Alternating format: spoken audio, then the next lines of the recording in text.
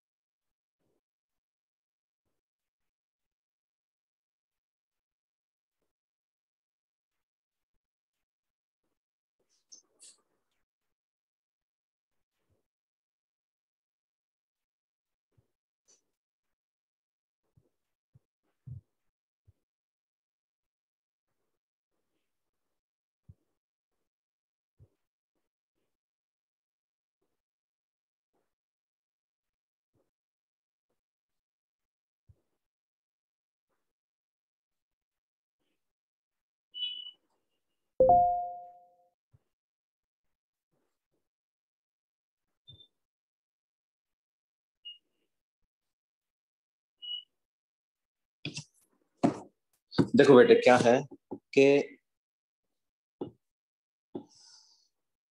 हम लोगों ने जो बात यहाँ पे करी थी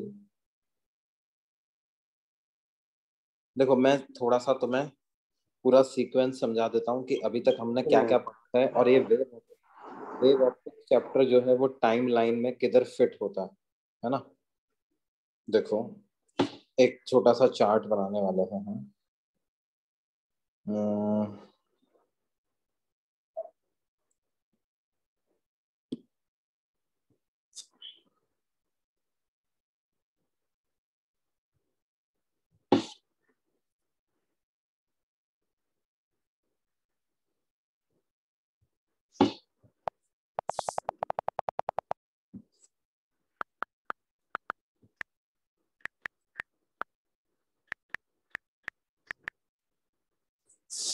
देखो बेटे क्या है।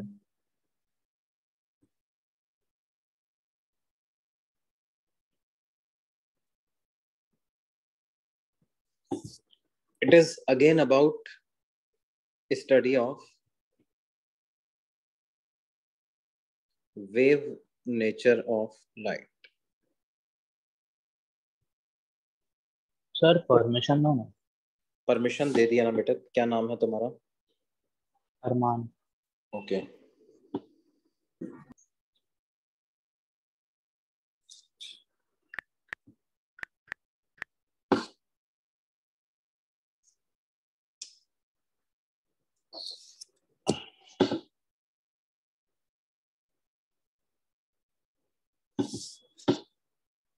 study of wave nature of light तो लाइट के बारे में जब अपन ने पढ़ना चालू किया बेटे तो सबसे पहले हमने पढ़ा लाइट के बारे में Newton's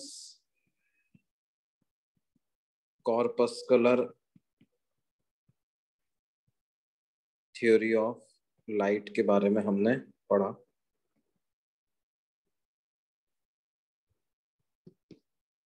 और ये जो थ्योरी थी this theory assume that light is made up of small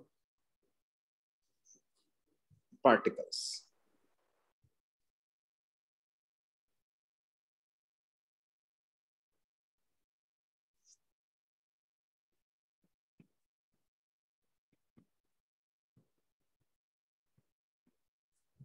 और हमने किस चैप्टर में इसके बारे में पढ़ा था? We studied about this in our first chapter जो कि था कौन सा? ज्योमेट्रिकल ऑप्टिक्स है ना?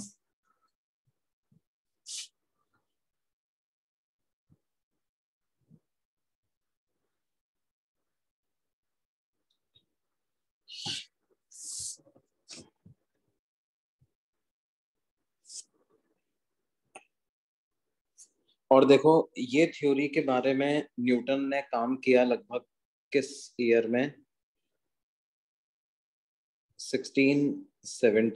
1672 में न्यूटन ने इसके बारे में काम किया, है ना? उसके बाद देखो, हमने इलेक्ट्रोमैग्नेटिक वेव चैप्टर पढ़ा था। और इलेक्ट्रोमैग्नेटिक वेव्स की जो डिस्कवरी हो गई थी, वो कब हो गई थी? इन 1856 और electromagnetic waves they were found to travel with the speed of light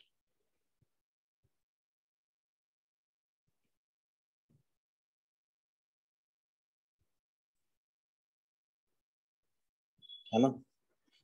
और हमने फिर उसके बाद सीधे एक थ्योरी के बारे में पढ़ा, जो कि 1905 में आई। And that was what photon theory of light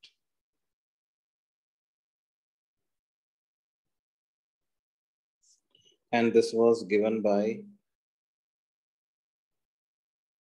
James Clerk Maxwell. Electromagnetic wave की जो थ्योरी जो थी दी गई थी वो किसके द्वारा? सॉरी फोट ये मैंने उल्टा लिख दिया है। जेम्स क्लर्क मैक्सवेल ने कौन सा थ्योरी दिया था? Electromagnetic wave theory. और photon theory of light was given by Einstein.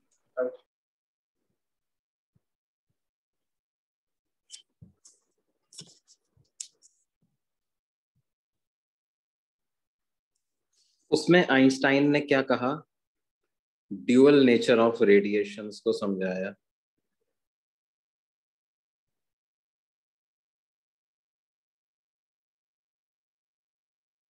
है ना?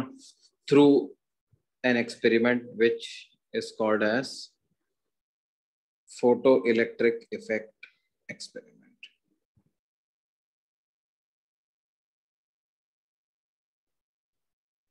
क्या ये बात समझ में आती है बेटा? Yes.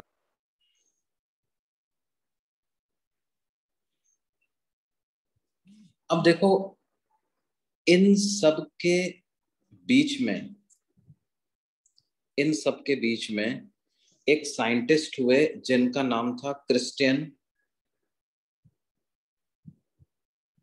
हाइगन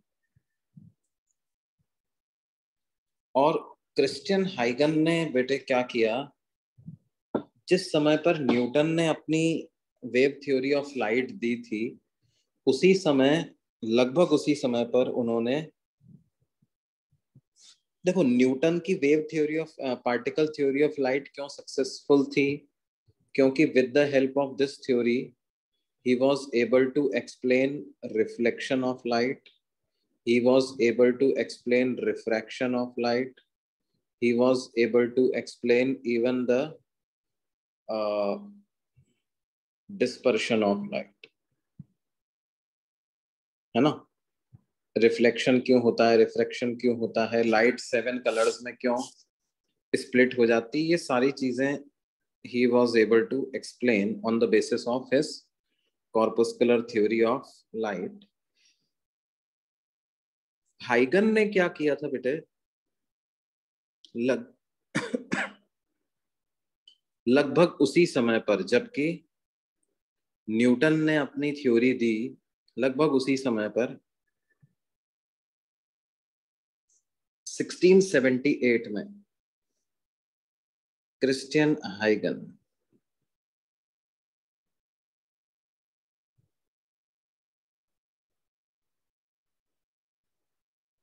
in 1678 proposed wave theory of light.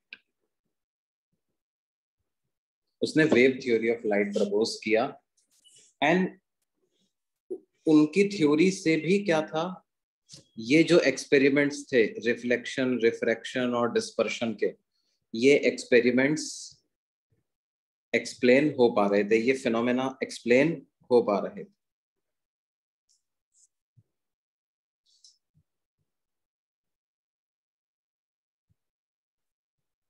और इनिशियली क्या हुआ? Initially his theory was rejected क्यों? क्योंकि क्रिस्टन हाइगन उसी समय पे बोल रहा था कि लाइट एक वेव है। न्यूटन ने उसी समय पे बोल रहा है कि लाइट पार्टिकल है। And Newton was a more famous scientist than Christian हाइगन तो in favour of Newton corpuscular theory of light Christian Huygens wave theory of light was initially rejected है ना? लेकिन क्या हुआ बच्चों के आगे जाकर के कुछ ऐसे एक्सपेरिमेंट्स हुए स्पेशली कब? स्पेशली 1802 में एक एक्सपेरिमेंट हुआ, जिसको बोलते हैं क्या? यंग्स डबल स्लिट एक्सपेरिमेंट और उसी समय पर और भी कई सारे एक्सपेरिमेंट हुए। This experiment was perform by Thomas Young उसके अलावा एक और साइंटिस्ट हुए जिनका नाम था हाँ बोलो बेटे। सर डेट्स याद करने की ज़रूरत है क्या? डेट्स याद करने की बिल्कुल ज़रूरत नहीं है। बस हमें क्या है ये क्रोनोलॉजी का आइडिया होना चाहिए कि भाई वास्तव में हाँ, जो आज की तारीख में modern understanding of nature of light है वो किन किन स्टेजेस से होकर के आई है है ना?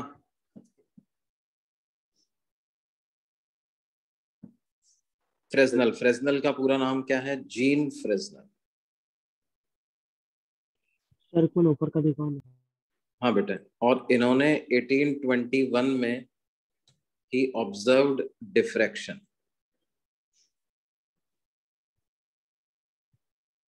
फिर उसके बाद और भी साइंटिस्ट हुए, जैसे एक साइंटिस्ट हुए Fraunhofer he was a German scientist Fraunhofer's institute of technology नाम से एक बड़ा फ़ेमस कॉलेज है जर्मनी में, जहाँ पर कई लोग आईआईटी से या और भी कई सारे कॉलेजेस से पढ़ने जाते हैं, अपनी हायर स्टडीज़ वगैरह करने जाते हैं। मतलब मास्टर्स करने Fraunhofer's institute of technology है इन जर्मनी। देखो ये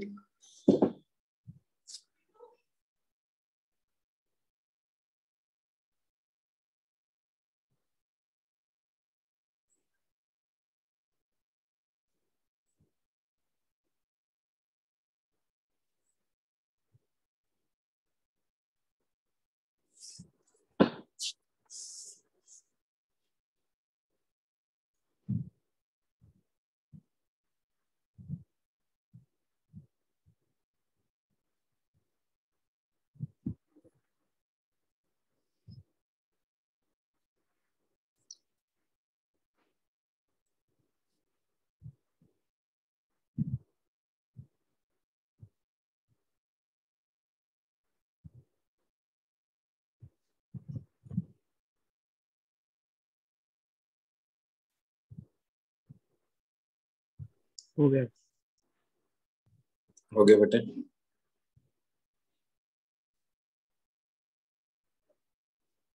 देखिए।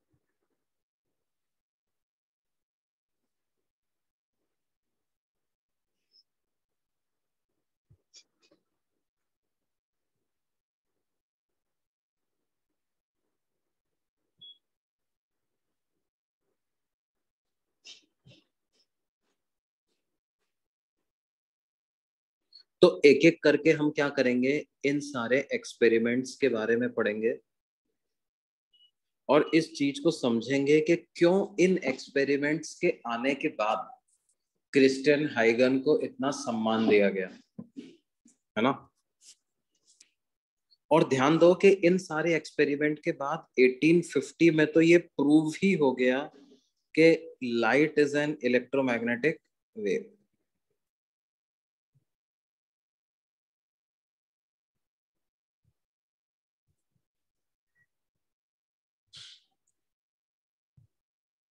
देखो, सबसे पहले अपन ये समझ लेते हैं कि भाई आखिरकार ये एक्सपेरिमेंट्स क्या थे? या क्रिस्टन हाइगन की वेव थ्योरी क्या थी? किस तरह से वो न्यूटन की थ्योरी से कॉन्ट्राडिक्ट कर रही थी?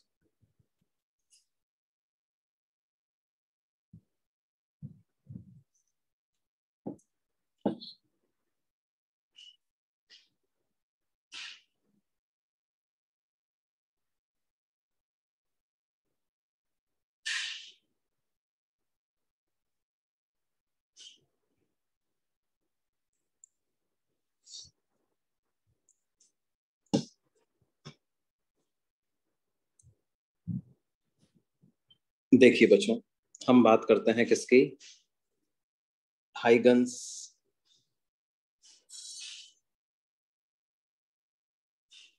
प्रिंसिपल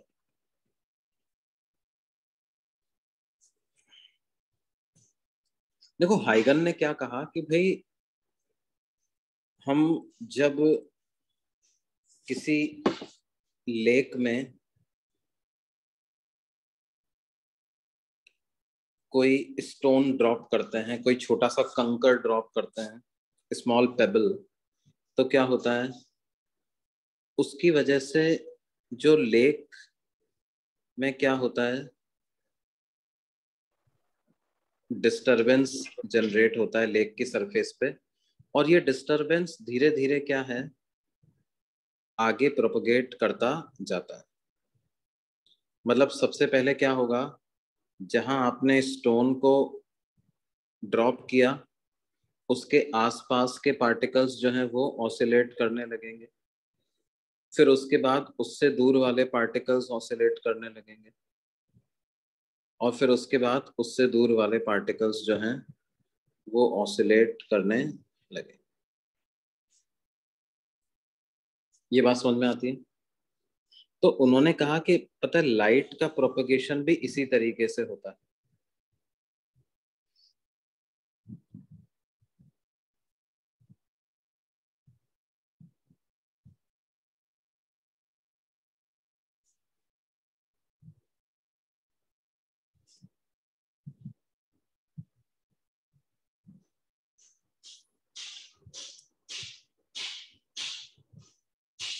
उन्होंने क्या कहा? कि भाई, उन्होंने एक कॉन्सेप्ट डिफाइन किया जिसको कहा वेव फ्रंट क्या नाम दिया गया उसको?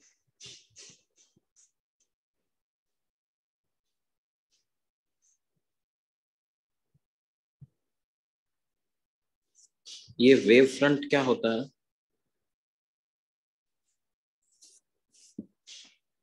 It is locus of all those points of a medium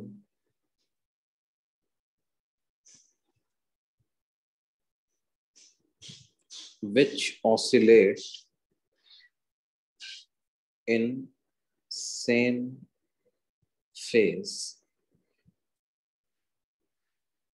which oscillate in same phase. It is locus of all those points of a medium which oscillate in same phase. है ना?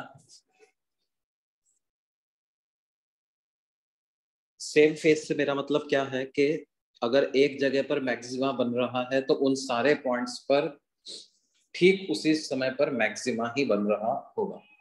अगर एक जगह पर मिनिमा बन रहा है तो उस पॉइंट पर एक साथ क्या बन रहा होगा?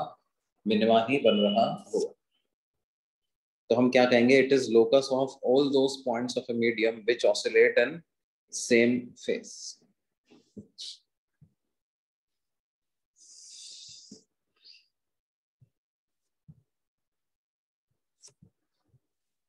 तो होता क्या है बेटे? कि उन्होंने ये कहा कि भाई, जैसे मान लो मीडियम में एक जगह पर कोई डिस्टरबेंस प्रोड्यूस हुआ अब डिपेंडिंग ऑन कि वो वेव कैसी है, वो सिर्फ़ सरफेस पे चलने वाली वेव है, या वो पूरे थ्री डायमेंशन में चलने वाली वेव है, इस बात पे डिपेंड करते हुए क्या होगा? वेव फ्रंट की शेप डिसाइड हो जाएगी। मतलब ये वाला पॉइंट ये वाला पॉइंट जो है, वो आसपास के सारे पॉइंट्स पर जो कि इससे बराबर बराबर की दूरी पे हैं, उन पे क्या करेगा? उन पे सिमिलर तरह का डिस्टरबेंस क्रिएट कर देगा। ठीक है? जैसा कि साउंड वेव में होता है, हमने कोई सोर्स ने साउंड एमिट करी तो क्या होगा? उस सोर्स से निकलने वाले सिग्नल्स जो हैं वो आसपास के सारे पॉइंट्स आसपास के जितने भी पॉइंट्स उससे सेम डिस्टेंस पे हैं। उन सेम डिस्टेंस पे एक साथ वो सिग्नल पहुंचेगा। सिग्नल का मतलब बेसिकली क्या है? प्रेशर का फ्लक्चुएशन कह सकते हो आप उसको है ना? वो प्रेशर का फ्लक्चुएशन बराबर डिस्टेंस पर एक साथ पहुंचेगा ठीक है? सर प्रीवियस पेज दिखाओ। हाँ बेटा।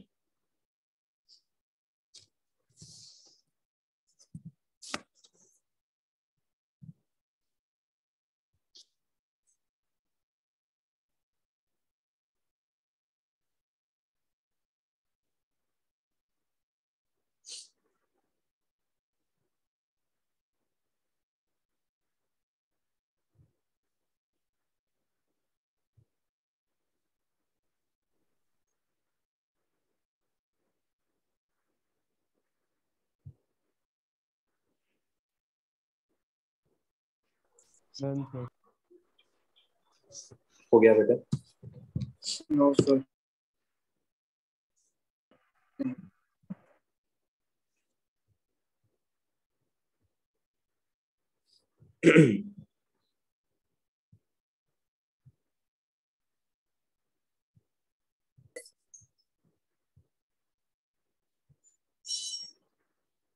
है ना जैसे अगर हम तो हम क्या बोल सकते हैं कि uh, for a point source,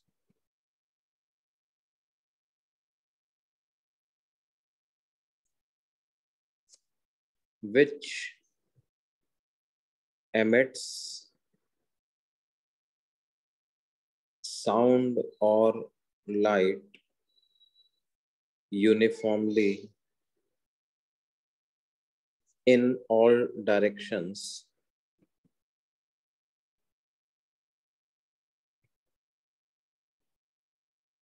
for a point source which emits sound or light uniformly in all directions the shape of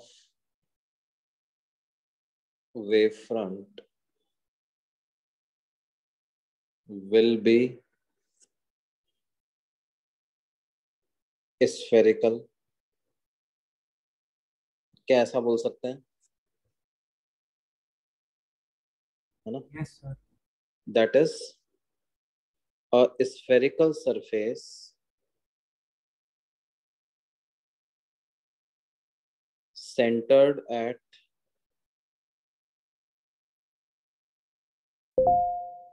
at the point source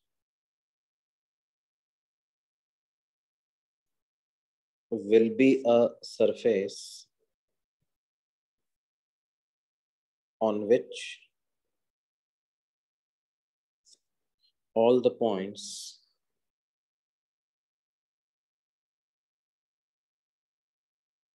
are oscillating in same phase.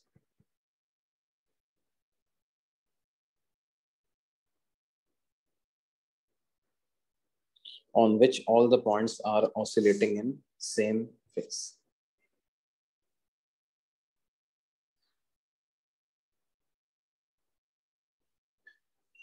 है ना?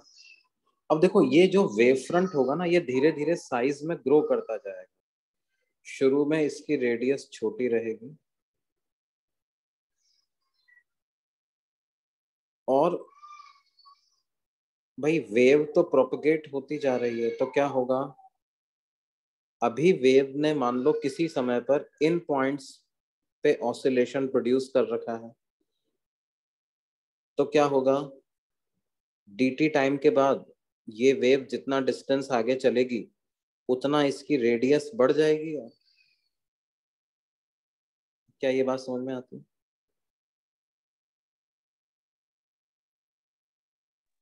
Yes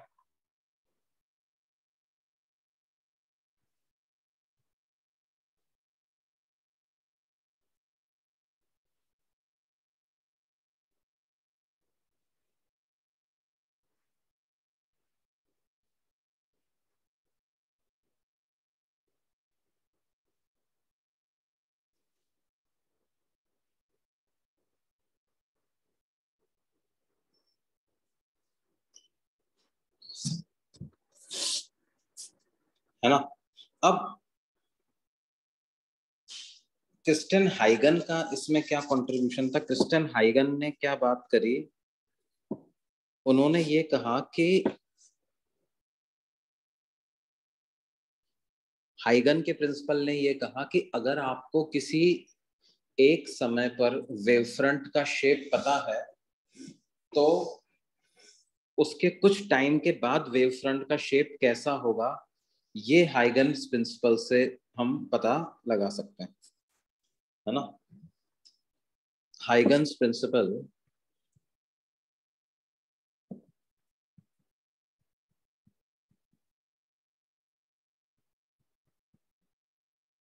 is used to determine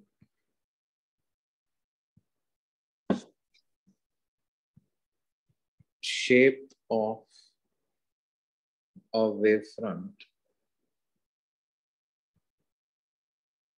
at time tau if the shape of wavefront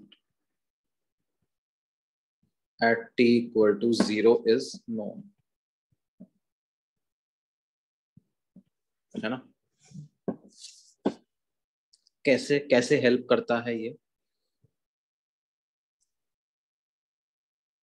देखो, ये एक तरह का क्या था बेटे? ज्योमेट्रिक ज्योमेट्रिक तरीका था, जो कि उन्होंने क्या किया?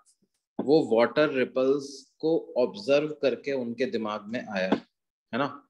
It is a method of geometric construction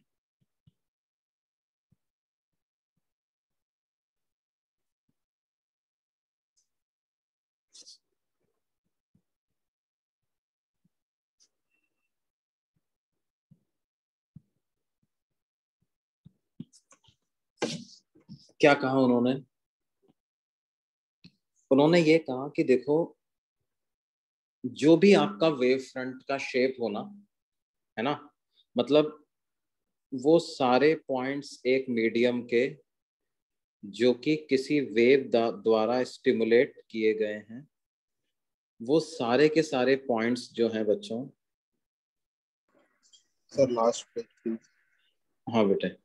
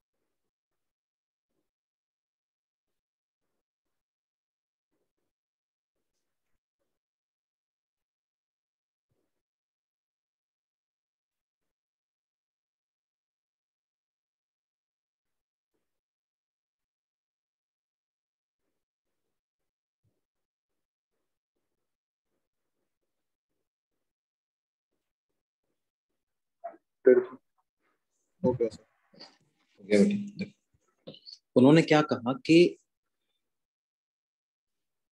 all the points of a wave front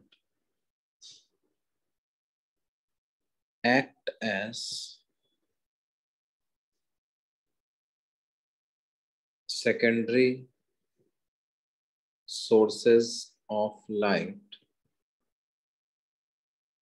and are called as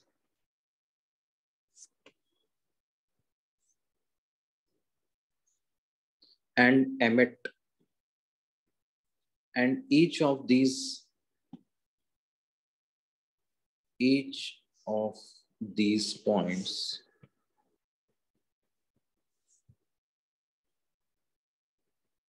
emit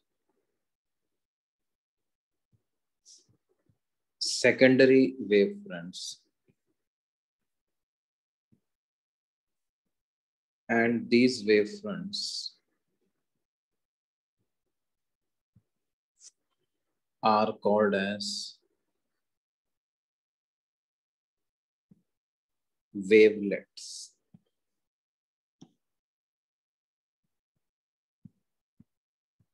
मतलब उनके कहने का मतलब क्या है जैसे ये वाला पॉइंट है ये वाला पॉइंट है। ये सब साइमल्टेनियसली स्टिमुलेट हुए तो ये सब के सब क्या करेंगे? ये सब के सब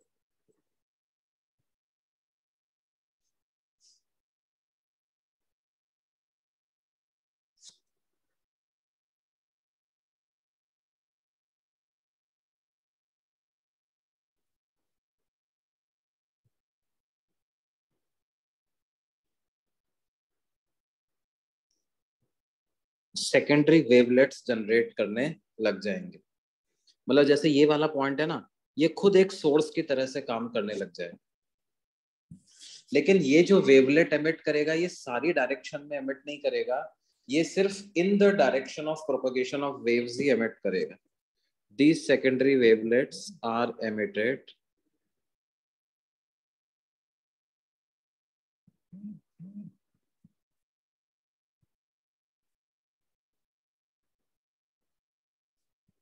in the direction of propagation of wave.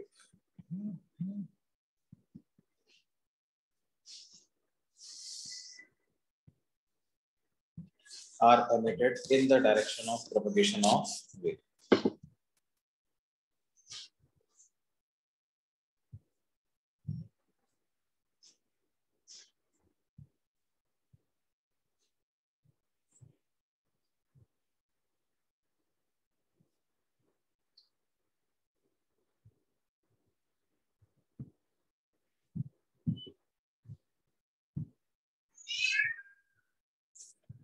तो ये जो सेकेंडरी वेवलेट्स आपने ड्रॉ किए हैं मतलब वेवलेट्स सेकेंडरी वेव फ्रंट्स जो आपने ड्रॉ किए हैं, जिनको सेकेंडरी वेवलेट अपन बोलते हैं the surface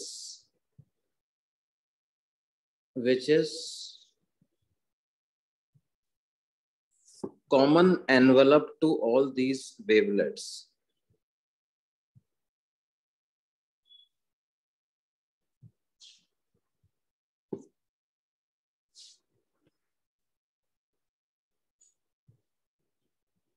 A surface which is common envelope to all these wavelets is the wavefront at some later time t मतलब जैसे ये जो अपन ने ड्रॉ किया इस पे आप क्या करो एक ऐसी सरफेस बना दो जो इन सब पे टेंजेंट हो। तो इन सब की टेंजेंट इस तरह की होगी ना।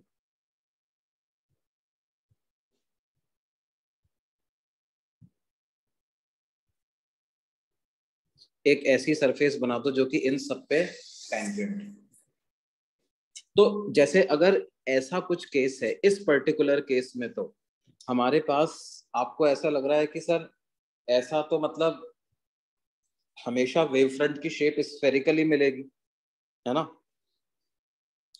एक बार स्फेरिकल है तो हर बार वेव फ्रंट की शेप कैसी मिलेगी?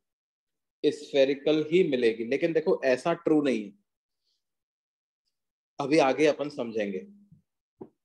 ये स्फेरिकल वेव फ्रंट कैसे प्रोपोगेट होती है, ये समझ में आया आपको? और देखो, ऐसा आपने ऑब्ज़र्व भी किया होगा कभी कभी कि क्या है? मतलब ऐसा नहीं होता है कि एक सर्कल बना फिर दूसरा सर्कल बना फिर तीसरा सर्कल बना। ऐसा ऐसे वेव का प्रोपोगेशन नहीं होता पानी में। वो बीच बीच में और भी छोटे छोटे सर्कल बनते रहते हैं इस तरह बनते हैं कि नहीं बनते बेटा? तो क्रिस्टियन हाइगन ने क्या किया कि उसी ऑब्जर्वेशन को आगे बढ़ाते हुए हालाँकि ये सर्कल तो मैकेनिकल वेव के बनते हैं। लेकिन उसने इसी थ्योरी को लाइट के लिए भी एक्सटेंड किया। और देखो आ, ये ये टाइमलाइन का समझना इसलिए इम्पोर्टेंट होता है कि उस समय तक तो इलेक्ट्रिसिटी मैग्नेटिज्म या इलेक्ट्रोमैग्नेटिक वेव की कोई खोज नहीं की थी। क्रिस्टन हाइगन ने ये थ्योरी कब दी थी? 1678 में। ध्यान दो this is long before when the idea of electromagnetic wave was developed. Faraday's laws of electromagnetism या जेम्स ऑरस्टेड का एक्सपेरिमेंट इन सारे एक्सपेरिमेंट से भी कम से कम सौ साल पहले उन्होंने ये बात कही थी। तो उस समय तो क्या था? ऐसा इलेक्ट्रोमैग्नेटिक वेव की तो कल्पना किसी ने करी नहीं थी।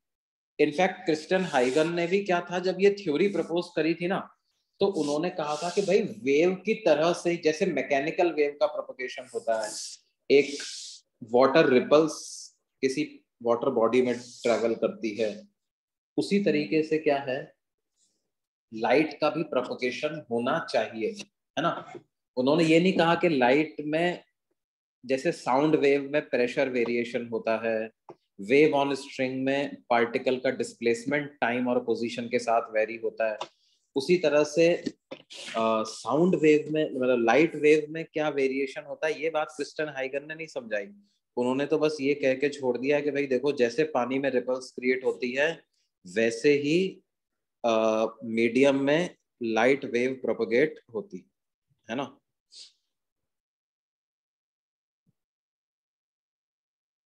ये बात समझ में आती है? Yes sir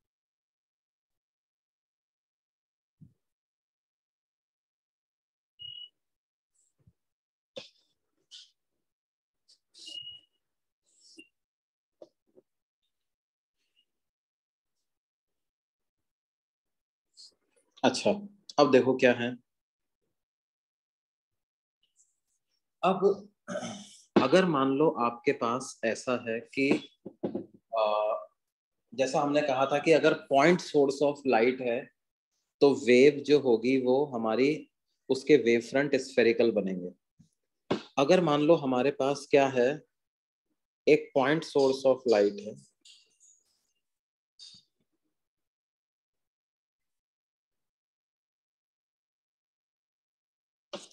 placed at very large separation.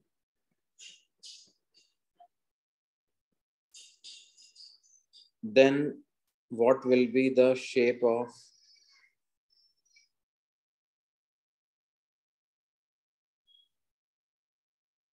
wave fronts due to such a source?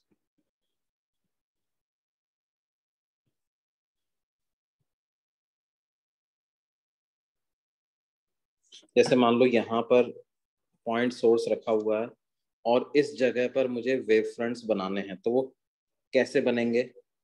देखो वैसे तो वो स्फेरिकली बनेंगे लेकिन इतनी डिस्टेंस पर जाते जाते वो स्फेयर की रेडियस बहुत ज़्यादा हो जाएगी ना बेटा।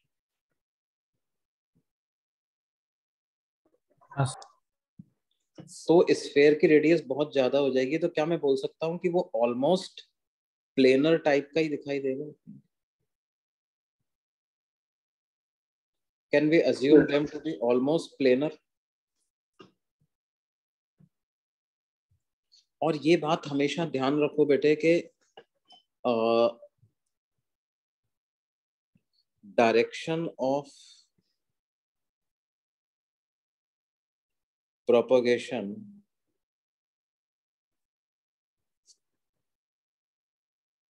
direction of propagation of light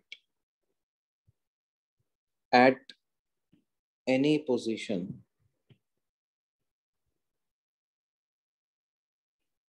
Will be perpendicular to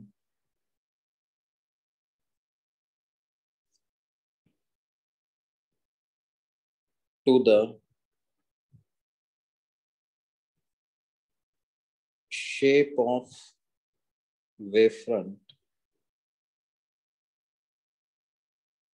at that position.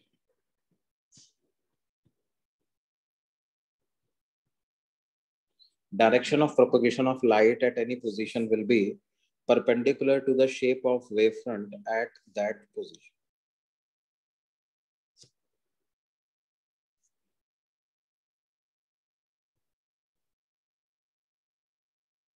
क्या ये बात समझ में आती है?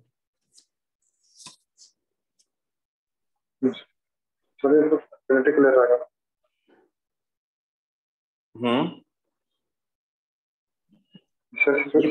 रहेगा ना?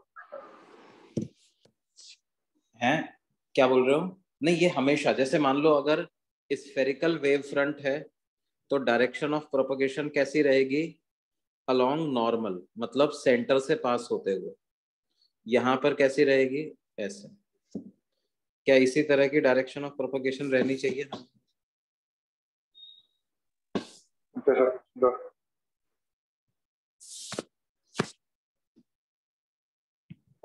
हाँ this will be true for any shape of wave front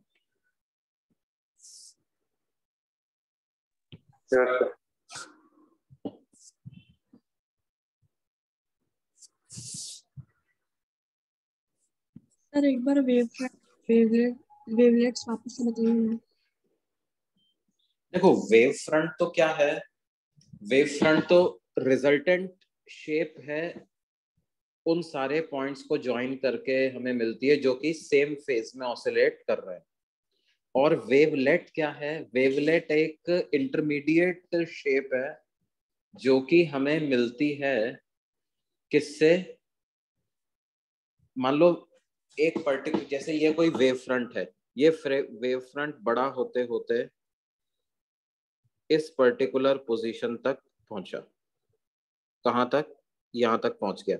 अब इसके जो ये सारे पॉइंट्स हैं, ये पॉइंट्स जो हैं, ये सारे पॉइंट्स क्रिस्टन हाइगन ने क्या बताया कि भाई ये सारे के सारे पॉइंट्स क्या हैं? अपने आप में एक सोर्स का काम करने लग जाएँगे। मतलब ऐसा लगने लग जाएगा जैसे ये खुद ही एक लाइट को एमिट करने वाला सोर्स है और ये खुद एक वेव एक सेकेंडरी वेव फ्रंट एमिट करने लग जाएगा। भाई एक्चुअल में लाइट का सोर्स तो यहाँ है, लेकिन ये पॉइंट्स भी एक्ट करने लग जाएँगे as if they are also sources of light और सोर्स ऑफ़ लाइट है तो ये भी वेव फ्रंट एमिट करने लग जाएगा। लेकिन ये जो एमिट हो रहे हैं, इनको वेव फ्रंट नहीं कहते हैं। मतलब ये एक तरह का सेकेंडरी वेव फ्रंट है, या इसको नाम देंगे वेवलेट ये जो मैंने बनाया, ये क्या है? This is secondary wave front या वेवलेट और इन वेवलेट्स पर आप एक कॉमन टेंजेंशियल सरफेस आप ड्रॉ कर दोगे। जैसे ये वाली सरफेस जो अपन ने ड्रॉ करी है। ये देखो क्या है ये सारे वेवलेट को कवर कर रही है ना। हाँ तो उन्होंने कहा कि ये ऐसी सरफेस जो इन सारे वेवलेट्स को कॉमन एनवलप प्रोवाइड कर रही होगी ये सरफेस आपकी क्या हो जाएगी? ये एक वेव फ्रंट हो जाएगा। देखो ये भी एक वेव फ्रंट है। ये जो हमने इधर बनाया था, ये भी एक वेव फ्रंट है। लेकिन ये वेव फ्रंट किसी, मान लो टी वन टाइम पे है, और जो मैंने बाहर वाला बनाया है वो उसके कुछ t one plus delta t time पे है। ये मान लो टी वन टाइम पे है, और ये वाला कब है? T one plus delta t time पे। सर वेवलेट्स पे जो पॉइंट्स है, वो फर्दर वेवलेट्स बनाएँगे। कौन से बेटे नहीं नहीं नहीं नहीं। वेवलेट्स वाले पॉइंट्स जो हैं वो फर्दर सोर्स की तरह से काम नहीं करेंगे। वेव फ्रंट वाले पॉइंट जो हैं वो फर्दर सोर्स की तरह से काम करेंगे। सर ये वेवलेट का इंटेंसिटी वेव फ्रंट से कम रहेगा ना? मतलब जो पॉइंट ये जनरेट कर रहे हैं वेव्स हाँ मतलब अब जैसे कहने का मतलब क्या है कि अगर आपको मान लो इस पॉइंट पे रिजल्टेंट इंटेंसिटी पता करनी है। तो वो क्या होगा? इधर वाले वेवलेट से जनरेटेड इंटेंसिटी इधर वाले वेवलेट से जनरेटेड इंटेंसिटी के मतलब सुपर पोजिशन से जो आएगा वो रिजल्टेंट इंटेंसिटी आपकी डिटरमाइन करेगा।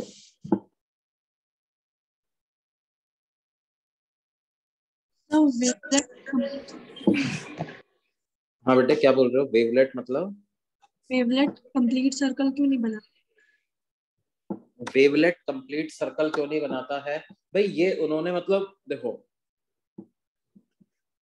मतलब उन्होंने ये आपको एक ज्योमेट्रिक तरीके से वेव फ्रंट की शेप डिटरमाइन करने का तरीका बताया है ना? uh, उन्होंने कहा कि भाई अगर आप ऐसे चलोगे तो आप उन शेप्स पे पहुँच जाओगे जैसी शेप आपको दिख रही है। मतलब this is a geometric way of determining the of wave front at some later time if you know the shape of wave front at t equal to zero अगर आपको किसी टाइम पर पता है वेव फ्रंट की shape कैसी है तो उसके डेल्टा टी टाइम के बाद वेव फ्रंट की शेप कैसी होगी ये पता लगाने का एक ज्योमेट्रिक तरीका हाइगन ने बताया। भाई ऐसे ऐसे इन स्टेप्स को फॉलो करो तो आपको नया वेव फ्रंट मिल जाएगा। अब इसका कोई मतलब इसका कोई पॉइंट नहीं है कि भाई आ, वो पूरा सर्कल क्यों नहीं बना रहा है। भाई वो सिर्फ़ उसी डायरेक्शन में आपको बनाना है जिस डायरेक्शन में वेव प्रोपोगेट कर रही है तभी आपको करेक्टली वेव अगले वेव फ्रंट की शेप पता चले भाई स्टेप्स तो आपको वही मानने पड़ेंगे ना, जो कि अपने को किसी आदमी ने बताया है। भाई, ऐसा ऐसा करोगे तो आपको क्या है करेक्ट रिज़ल्ट मिलेगा। नहीं करोगे तो नहीं मिलेगा। अब वो ऐसा ही क्यों कर रहे हैं, वैसा क्यों नहीं कर रहे हैं, वो एक अलग कहानी है है ना? क्या वाकई में ऐसे सेकेंडरी वेवलेट या वेव फ्रंट होते हैं? This is a separate thing है ना? भाई, उन्होंने तो सिर्फ़ एक ज्योमेट्रिक मेथड बताया। लाइट के प्रोपोगेशन को एक्सप्लेन करने का। अब यही मेथड सही क्यों है? कोई और मेथड सही क्यों नहीं है? इसका तो कोई जवाब नहीं है अपने पास।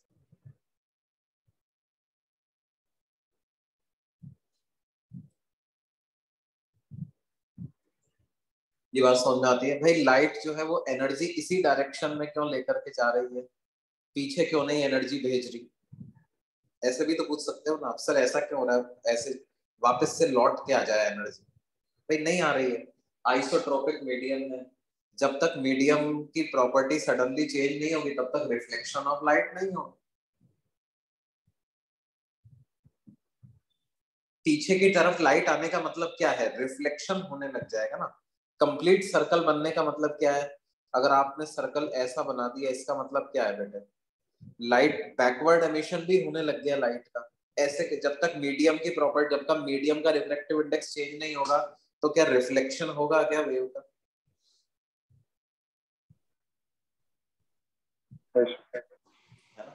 तो वो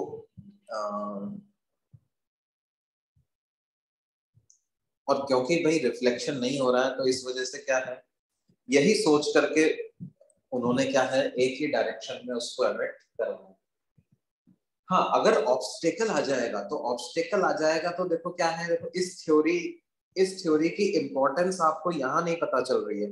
इस थ्योरी की इंपॉर्टेंस आपको तब पता चलेगी जबकि अपन क्या है इस थ्योरी की मदद से स्नेल्स लॉ डिराइव करेंगे जब इस थ्योरी की मदद से लॉ ऑफ़ रिफ्लेक्शन अपन डिराइव करेंगे। अब देखो जो बात अपन ये बता रहे थे वो क्या थे कि आ, एक इनफाइनाइटली लार्ज एक सोर्स से इनफाइनाइटली लार्ज डिस्टेंस पे आप अगर चले जाते हो तो जो वेव फ्रंट है, उस वेव फ्रंट की शेप क्या ऑलमोस्ट प्लेन जैसी दिखाई देगी आपको? और direction of propagation of light क्या होगी? इस प्लेन के perpendicular direction of propagation of light will be perpendicular to this plane. मतलब अगर आपके पास वेव फ्रंट की शेप ऐसी है तो direction of propagation of light इस तरह की।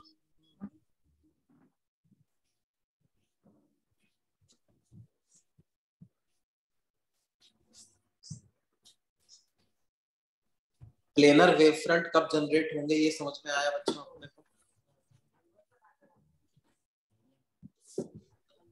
shape of Yes. wave shape of wavefront due to a point source placed at infinite separation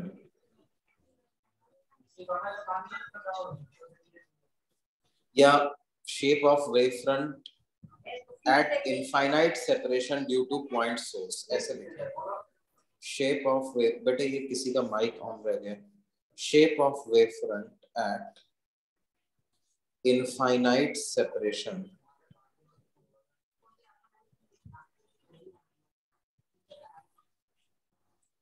from a point source will be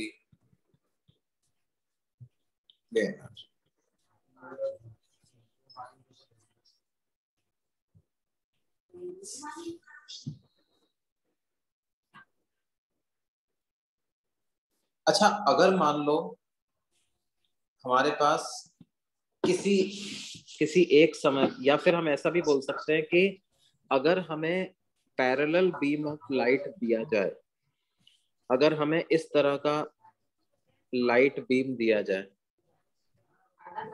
तो इस तो इस बेटे किसी का माइक ऑन है, उसको बंद करो। किसका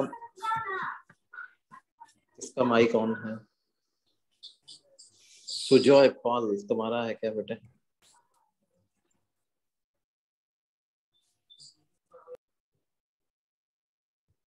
हम्म। देखो, अगर इस तरह का हमारे पास direction of propagation of light है। लाइट रेज अगर ऐसी हैं तो वेव फ्रंट कैसा बनेगा बताओ तो बच्चों। प्लेनर प्लेनर वेव फ्रंट होगा है ना? क्योंकि एक प्लेन सरफेस ही ऐसी सरफेस होती है जिसके हर पॉइंट पर नॉर्मल की डायरेक्शन सेम हो।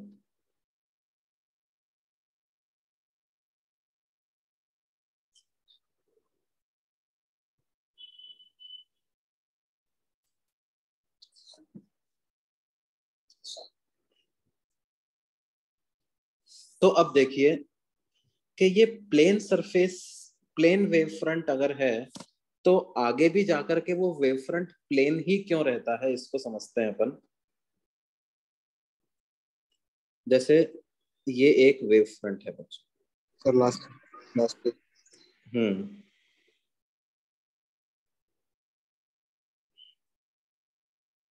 यहाँ पर तुम नोट लगा के ऐसे लिख सकते हो।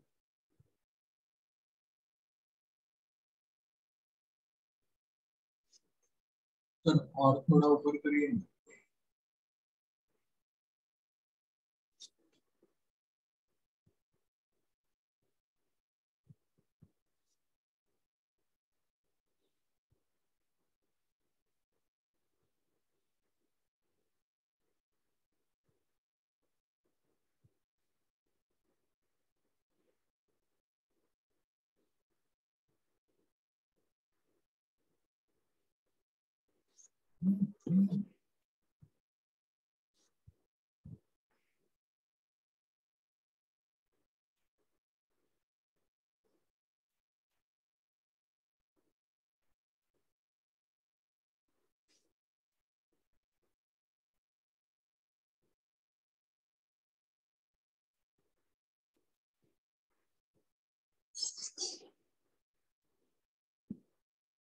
एक मिनट बेटा।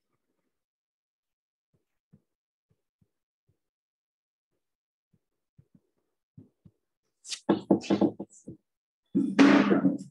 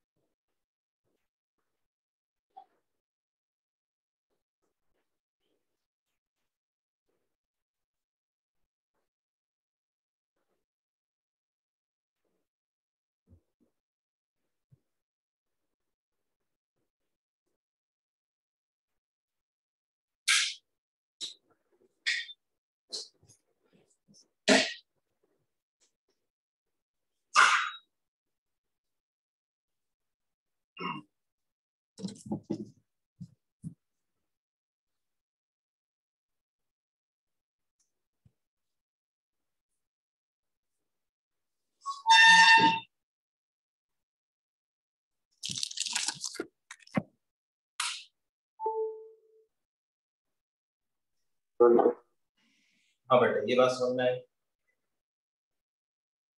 ये नोट किया हुई सबने? ओके अब देखिए, मान लो आपके पास प्लेनर वेव फ्रंट है। अब हाइगन का कंस्ट्रक्शन मैकेनिज्म अपन लगाते हैं। हाइगन का मैकेनिज्म क्या कहता है? इस वेव फ्रंट पे जितने भी पॉइंट्स हैं, वो सबके सब क्या करेंगे? As secondary sources of light की तरह से एक्ट करेंगे।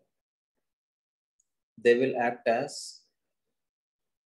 secondary sources of light और ये सब क्या करेंगे बेटे? स्फेरिकल वेव एमिट करेंगे।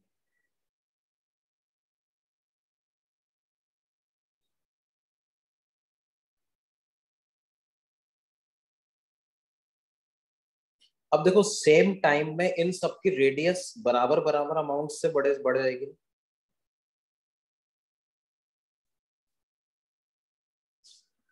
तो लेट्स से टी टाइम बाद अगर मेरे को नया वेव फ्रंट का शेप बनाना है तो इन सब पर अगर कॉमन टेंजेंट में बनाऊँगा तो फिर से वो क्या मेरे को एक प्लेनर वेव फ्रंट ही मिल जाएगा?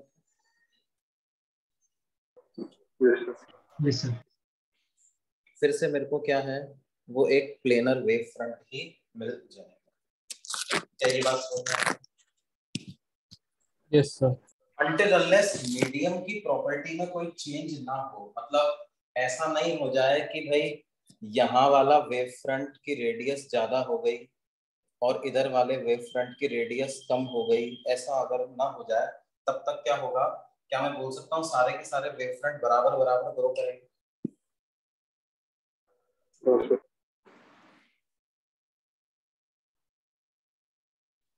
है ना? तो इसकी वजह से क्या होगा? एक बार अगर प्लेनर वेव फ्रंट है तो आगे भी जो वेव फ्रंट अपने को मिलेगा, वो कैसा मिलेगा? प्लेनर ही मिलेगा बच्चों। Provided medium properties of medium remain the same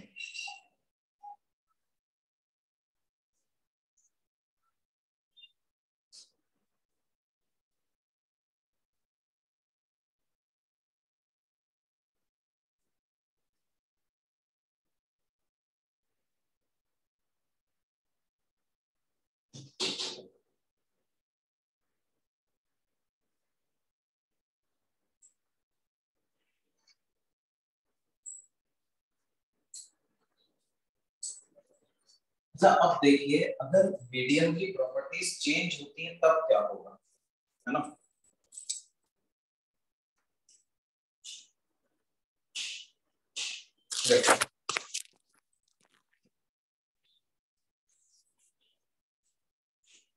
मान लो हमारे सामने अच्छा ये जो प्लेनर वेव फ्रंट्स हैं, उनको मैं इस तरीके से भी शो कर सकता हूँ मैं जैसे सिर्फ़ एक लाइन से शो कर दूँ। ये एक वेव फ्रंट हो गया ये एक और वेव फ्रंट हो गया। और वेवलेट जो है, जैसे ये सारे पॉइंट्स किसकी तरह से काम कर रहे हैं? वेवलेट की तरह।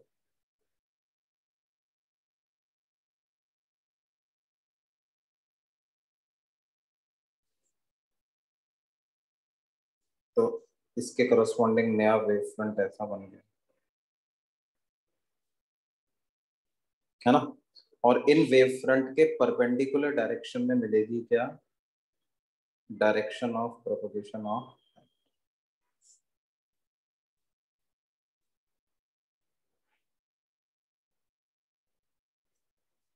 क्या ये बात क्लियर है बच्चों?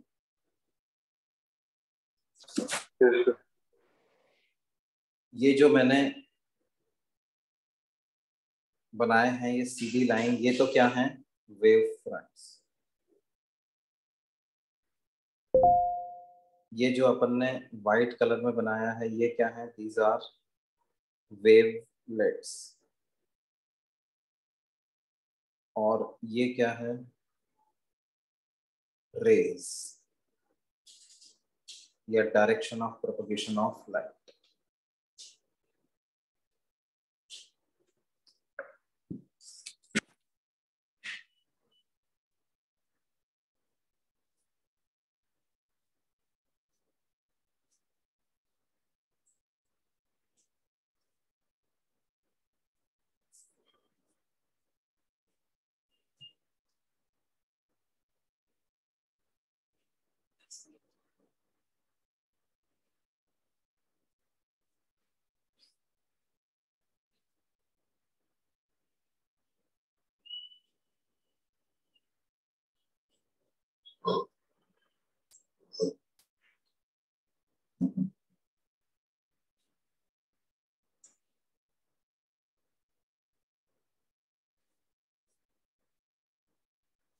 sir एक सर एक बार ऊपर वाला पेज दिखा हाँ बेटा।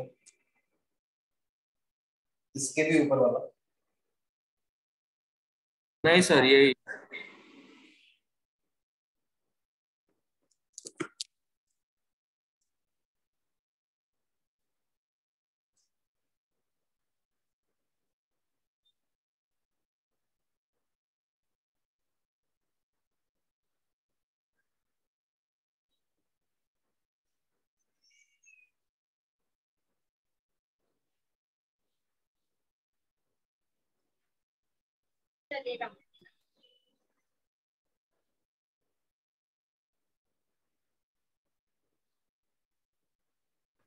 डन सर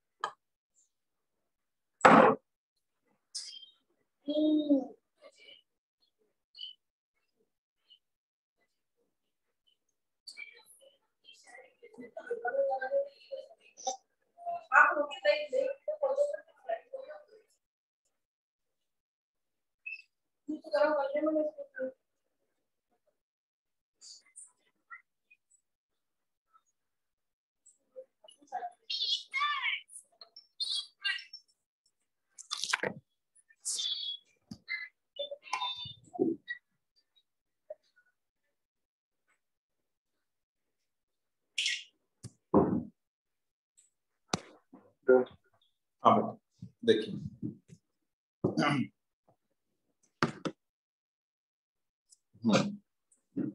तो ये हमारे पास अब क्या है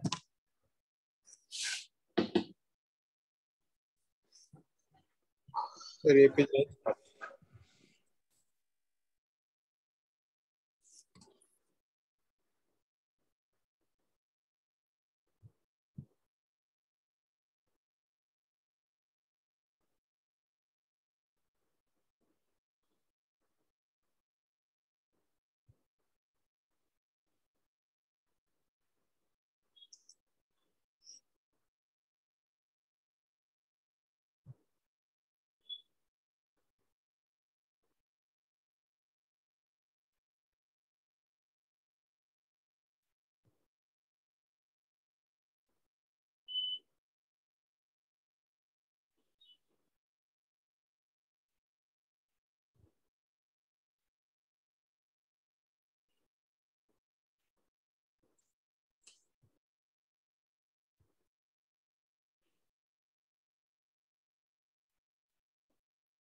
है ओके बेटा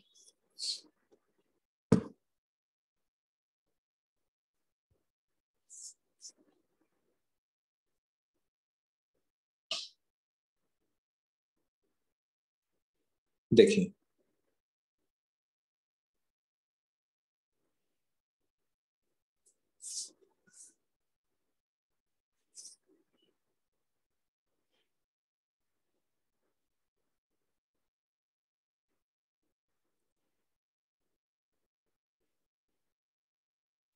अब देखिए, हम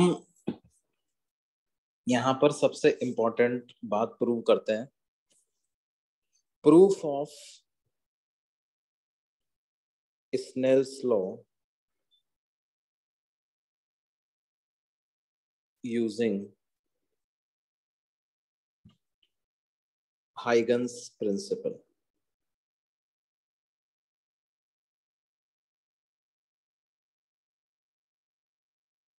proof of Snell's law using Huygens principle.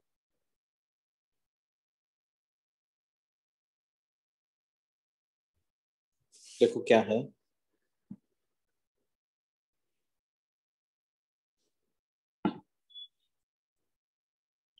Snell's law क्या कहता है कि मान लो ये कोई बाउंड्री है और इस तरह से कोई लाइट बीम जो है वो एक मीडियम में प्रोपोगेट करती हुई आती है और इस बाउंड्री पर इंसिडेंट होती है तो क्या होगा?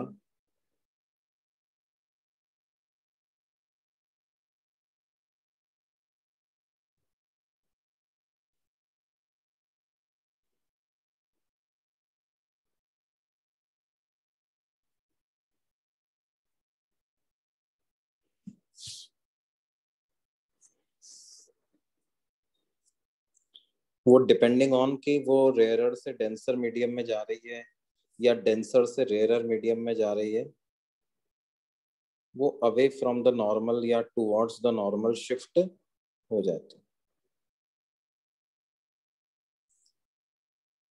ये बात समझ में आती है बच्चों? ये बेसिकली स्नेल्स लॉ है और स्नेल्स लॉ क्या कहता है भाई? इनके एंगल ऑफ़ इंसिडेंस और एंगल ऑफ़ रिफ्लेक्शन में ये आपको रिलेशन बना के देता है। वो कहता है, भाई एंगल ऑफ़ रिफ्रैक्शन अगर आर है एंगल ऑफ़ इंसिडेंस आई था तो एन वन साइन आई बराबर होगा किसके? एन टू साइन आर के बराबर।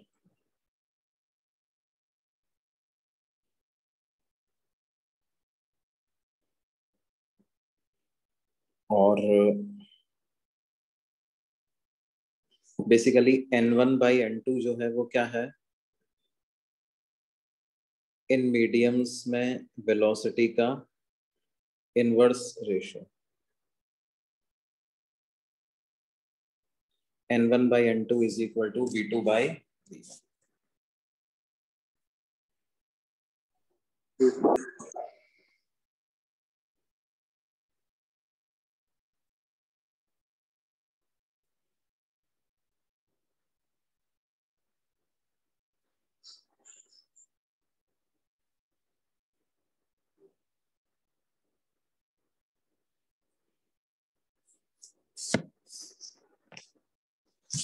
अब देखिए क्या होगा बच्चों।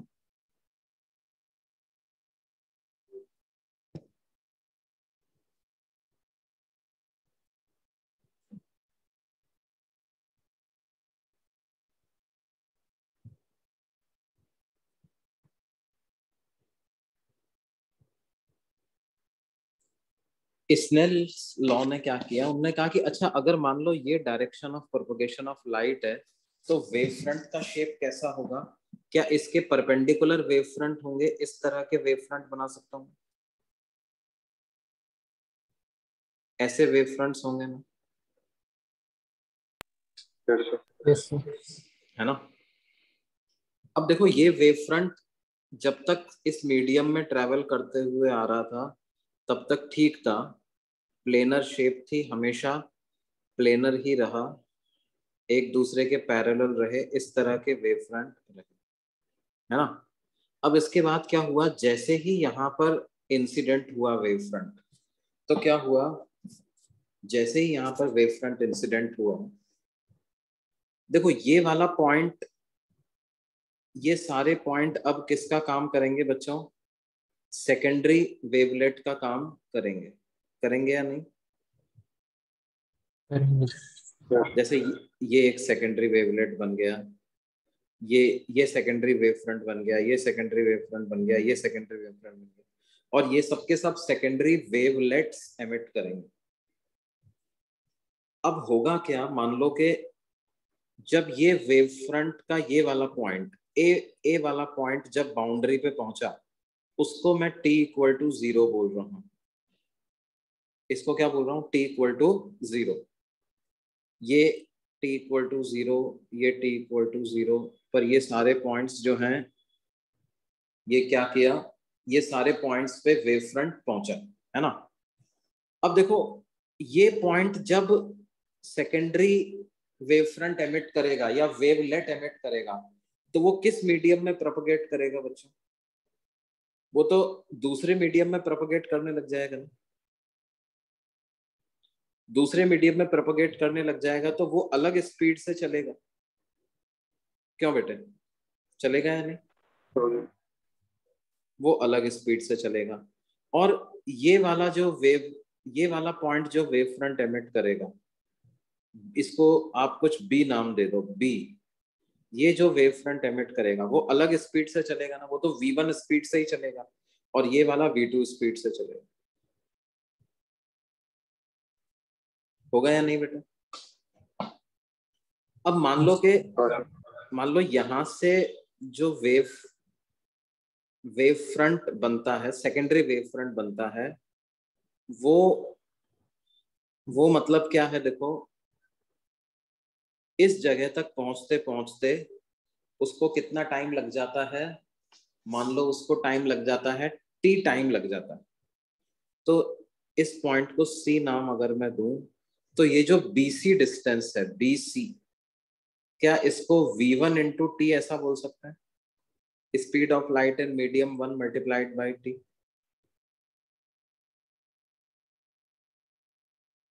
sir है ना? और उसी टी टाइम में उसी टी टाइम में ए से जो वेवलेट बना होगा उसकी रेडियस वी टू टी के बराबर हो जाएगी कि नहीं हो जाएगी?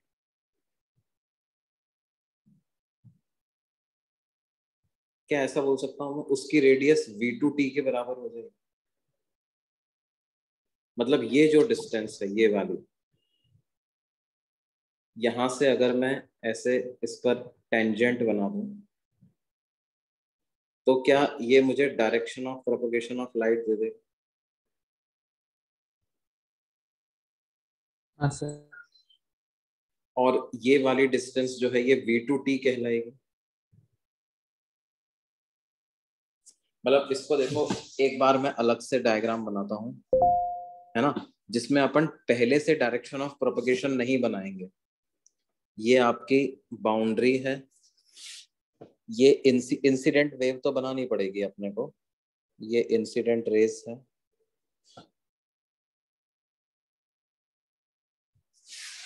और ये करस्पॉन्डिंग वेव फ्रंट ये ए पॉइंट पर आकर के यहाँ पर गिरा है। ये बी पॉइंट है। हाँ। इस मीडियम में वेव v1 स्पीड से चल रही है, इसका रिफ्लेक्टिव इंडेक्स n1 है। यहाँ पे वेव v2 स्पीड से चलती है, इसका रिफ्लेक्टिव इंडेक्स n2 और v1 बाई वी बराबर है किसके? N2 by n1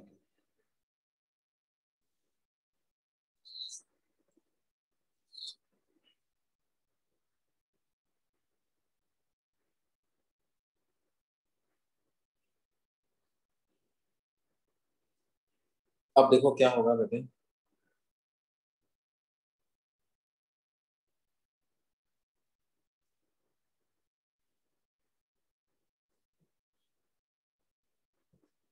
A point से बी से निकलने वाला जो वेवलेट होगा, वो मान लो इस सी पॉइंट पे पहुँचता है एट टाइम टी तो जो बी सी डिस्टेंस है, उसको मैं बोल दूँगा v1 वन इंटू टी और उतने समय तक ए से निकलने वाला जो वेव फ्रंट होगा वेवलेट होगा, उसकी रेडियस v1 वन टी के बराबर हो जाएगी।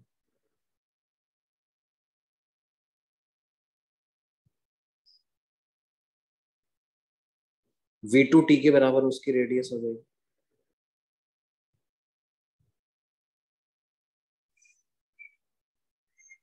है ना?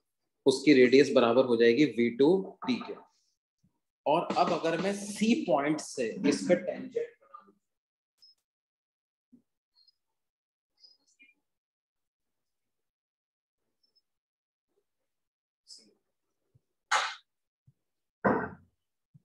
तो देखो क्या होगा? यहाँ यहाँ से जब, अब देखो, ये सी इस टी टाइम पे निकलने वाले वेवलेट की बात करते हैं। Let's draw draw a common tangent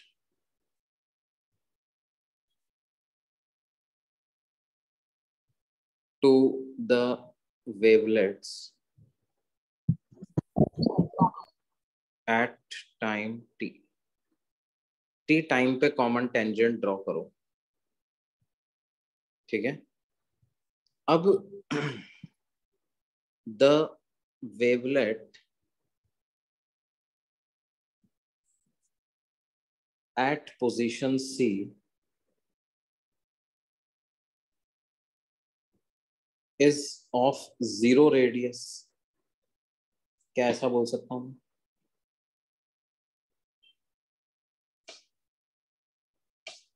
And the wavelet at position A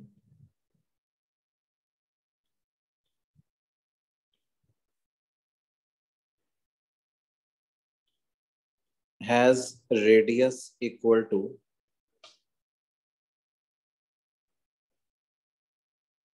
V2T और बेसिकली मुझे क्या करना है सी पॉइंट से एक टेंजेंट ड्रॉ करनी है ए पर वो इस तरह की टेंजेंट में बना देता हूँ।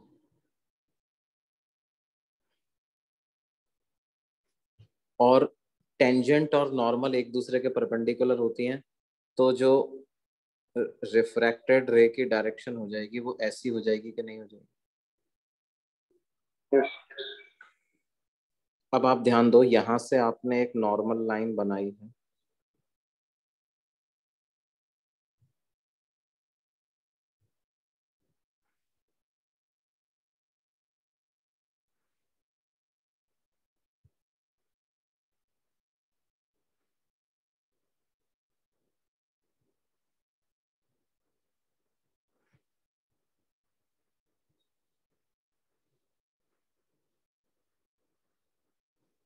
ये एंगल आई है।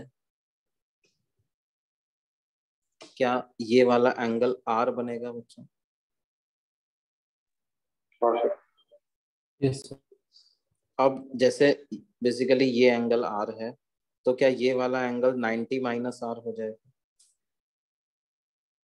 यस yes और ये 90 माइनस आर है तो क्या ये वाला एंगल आर हो जाएगा? क्योंकि ये 90 डिग्री है ना। इस पॉइंट को आप डी नाम दे दो। तो ये जो एडी है वो सर्कल की रेडियस है। तो एडी की वैल्यू वी टू टी के बराबर। एडी की वैल्यू वी टू टी के बराबर है। और बीसी की वैल्यू वी वन टी के बराबर है। अब आप look at triangle ABC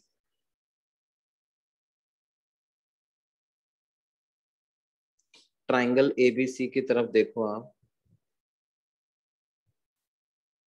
अच्छा ये वाला एंगल अगर आई है बच्चों तो क्या मैं बोल सकता हूँ ये वाला एंगल भी आई ही होगा? यस सर हाँ सर क्योंकि ये आई है तो ये वाला 90 माइनस आई हो गया। तो फिर ये एंगल आई हो अब साइन आई की वैल्यू लिखते हैं अपन साइन आई। तो sine I perpendicular upon hypotenuse होता है ना तो क्या वो बीसी अपॉन एसी के बराबर हो जाएगा? Sine I is equal to BC upon AC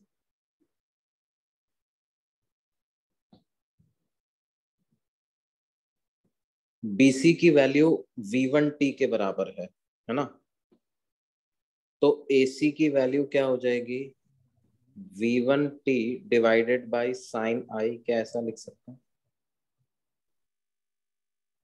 AC की वैल्यू हो जाएगी v one t divided by sine I और look at triangle A C D triangle A C D की बात करो आप। तो इसमें साइन आर किसके बराबर होगा?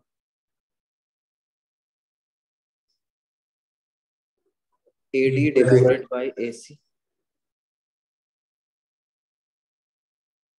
तो एसी की वैल्यू क्या हो जाएगी यहाँ से? AD and AD is v two t basically v two t divided by sine R इतना हो जाएगा। और ये AC और ये AC ये दोनों बराबर हैं। इसका मतलब क्या है? V2T divided by sine R is equal to V1T divided by sine I क्या ऐसा लिख सकते हैं यस और आप T को T से कैंसिल कर दो तो क्या मिल जाएगा? V2 divided by sine R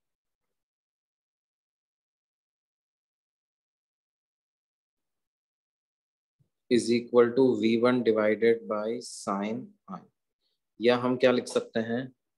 V two divided by v one is equal to sine R divided by sine I और ये जो वेलोसिटीज का रेशो होता है, ये inverse ratio of refractive index होता है। V2 टू बाई वी को हम n1 वन बाई एन लिख सकते हैं। N1 one by n two is equal to sine R divided by sine I. इसका मतलब n one into sine I बराबर है किसके? N two into sine R.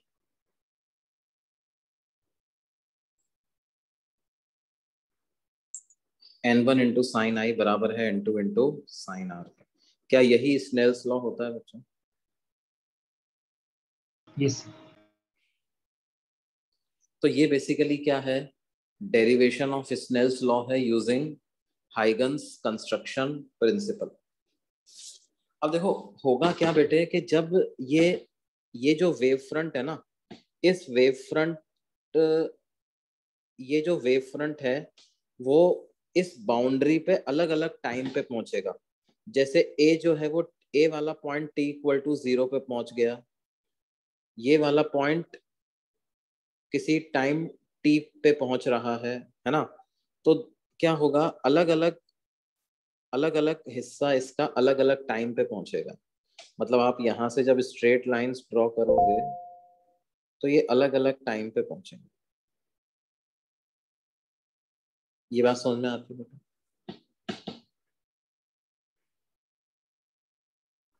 yes तो यहाँ से जब आप ना वेवलेट्स बनाओगे ना छोटे छोटे तो वो वेवलेट्स बराबर इस तरीके के बनेंगे कि क्या है? क्योंकि ये आप देख सकते हो कि वो जो प्रोपोर्शनैलिटी है स्पीड और डिस्टेंस वाला, वो हर जगह पर सही बैठेगा यहाँ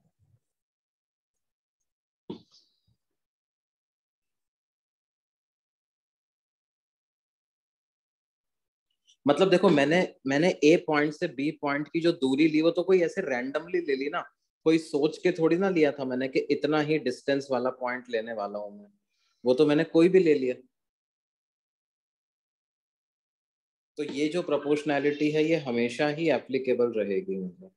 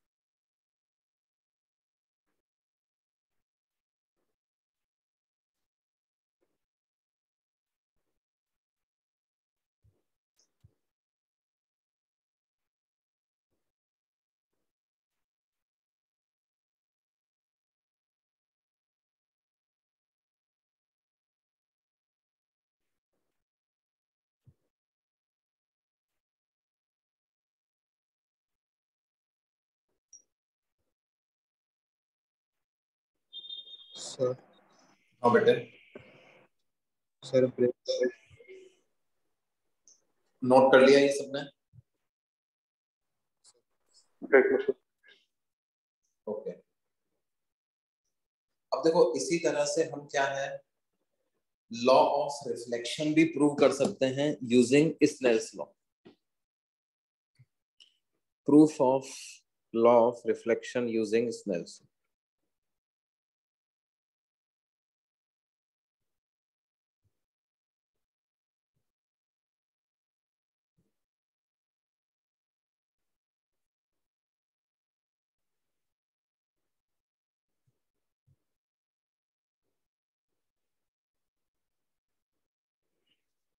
देखो कैसे।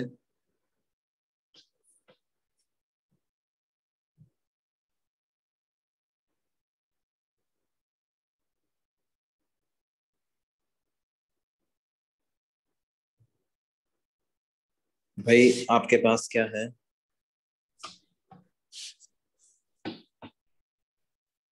ये कोई रिफ्लेक्टिंग सरफेस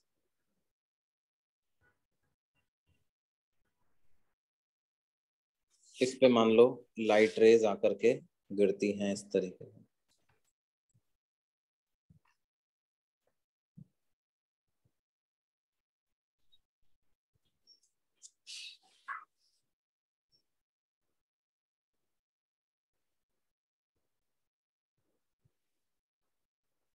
ये एंगल ऑफ़ इंसिडेंस है।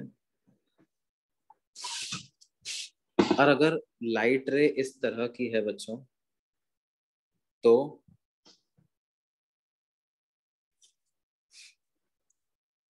इसके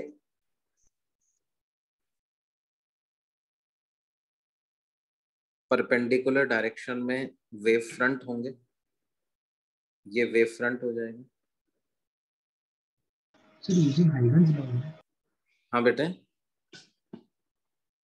Using Huygens principle using using Huygens sorry Sorry, principle.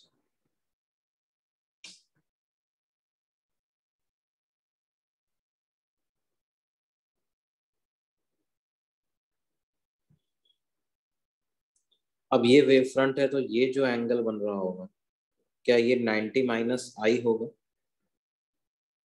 Yes yes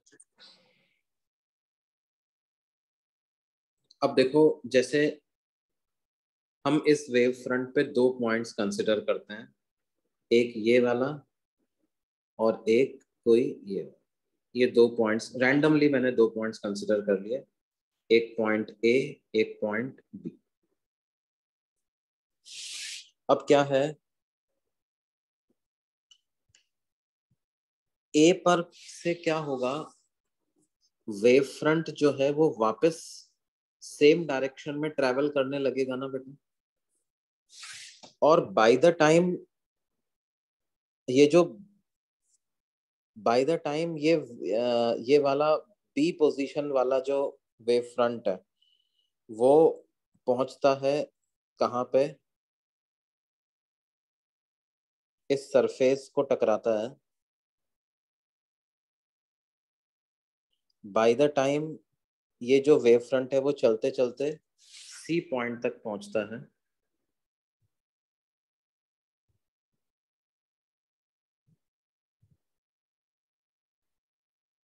तब तक क्या होगा?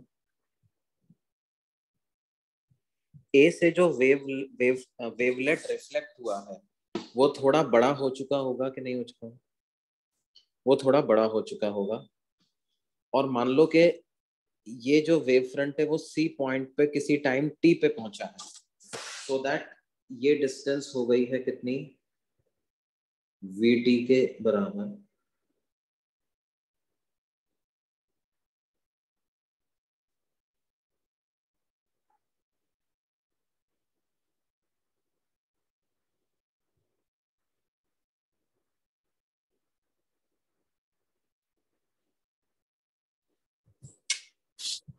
तो इसका मतलब क्या होगा?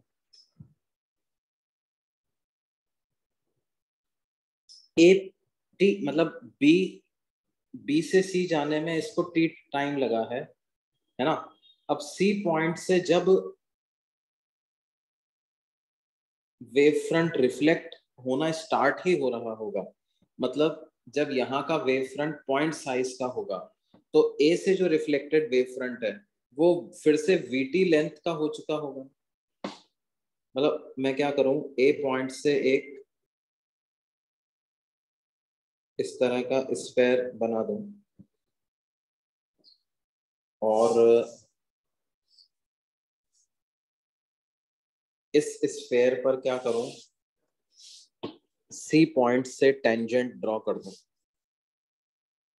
इस पर सी पॉइंट से मैं एक टेंजेंट ड्रॉ कर देता हूँ।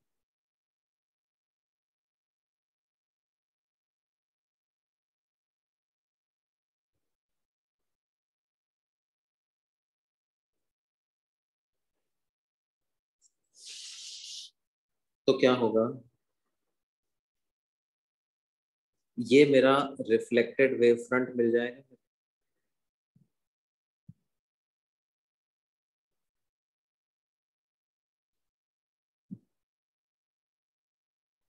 और ये अगर रिफ्लेक्टेड वेव फ्रंट है तो इस पर परपेंडिकुलर जो है, वो direction of propagation of light होनी चाहिए। अब इस पर परपेंडिकुलर ड्रॉ करने का मतलब क्या है? इस सरफेस पे भी परपेंडिकुलर ड्रॉ करना है मुझे, है ना? तो ये परपेंडिकुलर सेंटर से पास होगा तो इस पॉइंट को सेंटर से ज्वाइन कर देता हूँ मैं। इसको सेंटर से ज्वाइन कर देता हूँ। तो ये मेरे को direction of travelling of light मिल जाएगी रिफ्लेक्टेड रे मिल जाएगी।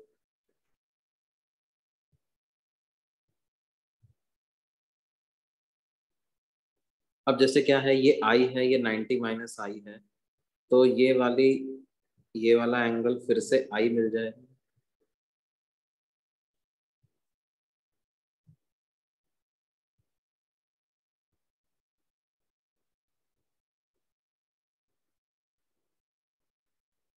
और ये एंगल अगर 90 डिग्री है बच्चों तो अब देखो आप इन दोनों ट्राइंगल को देखो। इसको कुछ डी नाम दे दो। ठीक है? तो look at triangle ABC and triangle ADC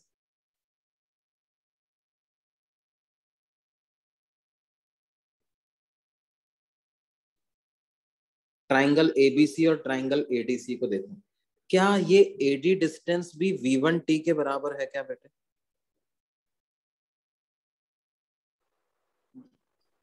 क्या एडी डिस्टेंस भी वी वन टी के बराबर है?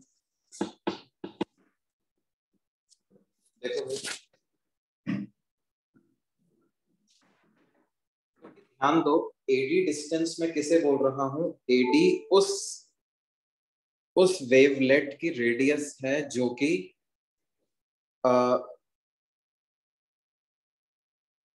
टी टाइम पे रेडियस है जो कि टी इक्वल टू ज़ीरो पर ए पॉइंट से ओरिजिनेट हुआ। ये टी इक्वल टू ज़ीरो पे यहाँ पे थे दोनों। ये जो है, ये इंसिडेंट वेव फ्रंट की position T equal to zero पे है। ये पॉइंट ए ये पॉइंट बी बी से सी जाने में टी टाइम लगा तो सी पॉइंट का वेवलेट तो पॉइंट पॉइंट पॉइंट जैसा ही रह गया ज़ीरो रेडियस का सर्कल हो गया। और ए से निकलने वाला जो वेवलेट है, वो वी वन टी रेडियस का सर्कल हो गया, क्योंकि टी टाइम की बात कर रहे हैं ना अपन तो बेसिकली वी वन क्या लिखना, उसको वी ही लिख दो वी टी के बराबर कर अब आप देखो कि एडी बराबर है बीसी के। एडी बराबर है बीसी के। एसी तो कॉमन साइड हो ही गई। और राइट एंगल ट्राइंगल और है, ये दोनों के दोनों ही राइट एंगल ट्राइंगल क्योंकि दोनों ही राइट एंगल ट्राइंगल हैं, इसका मतलब क्या है? उनकी दो साइड्स बराबर हैं। तो क्या मैं बोल सकता हूँ triangle A B C is congruent to triangle A D C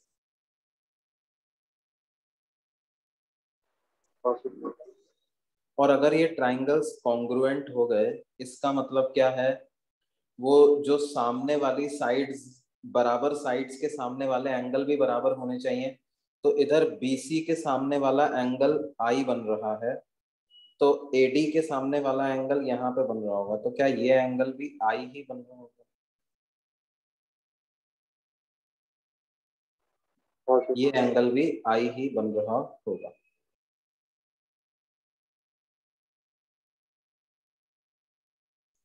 अब देखो, ये एंगल अगर आई है बेटे, ये वाला एंगल 90 डिग्री है तो ये पूरा एंगल कितना बनेगा? क्या ये एंगल 90 माइनस आई बनेगा और ये एंगल अगर 90 माइनस आई है तो ये वाला एंगल कितना बनेगा? आई बनेगा और ये रिफ्लेक्टेड लाइट है ना? रिफ्लेक्टेड वेव फ्रंट के परपेंडिकुलर रिफ्लेक्टेड लाइट इंसिडेंट और रिफ्लेक्शन का एंगल बराबर आ गया कि नहीं आ गया? हाँ सर है ना? Angle of incidence equal to angle of reflection यही लॉ ऑफ़ रिफ्लेक्शन होता है।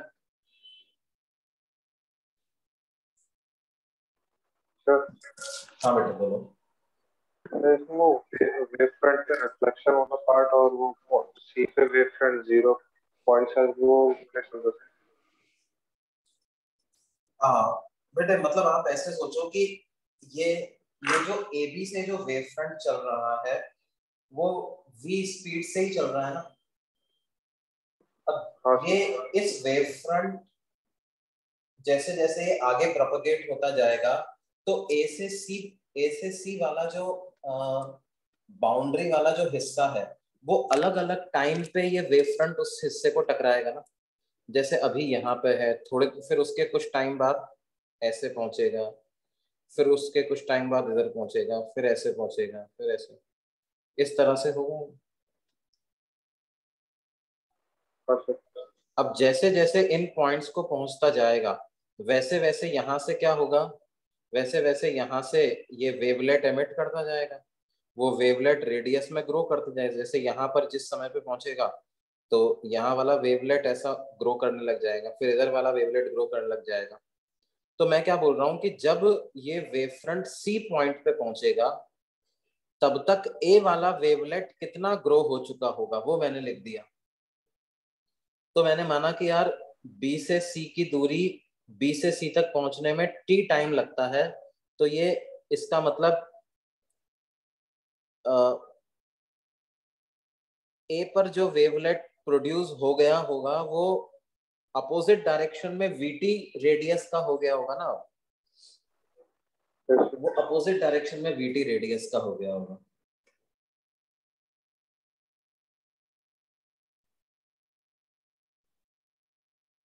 मतलब इस तरह से समझो देखो फिर अगले पेज पे और समझाता हूँ तुमको। ऐसे देखो आप इसको कि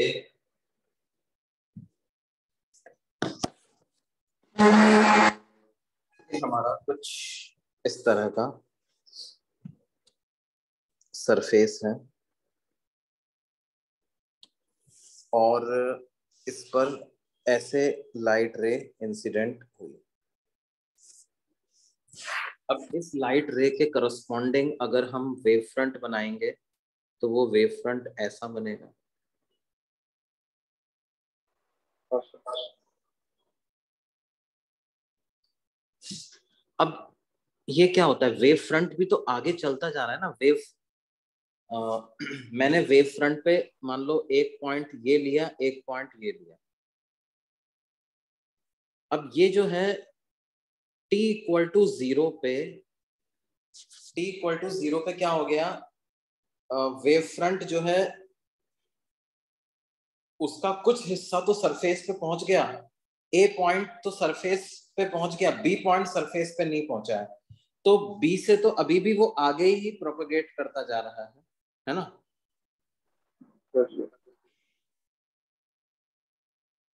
अब मान लो हम ये देखना चाह रहे हैं कि बी बी के करस्पॉन्डिंग जो वेव फ्रंट का हिस्सा है वो कितनी देर बाद सरफेस पे पहुँचता है?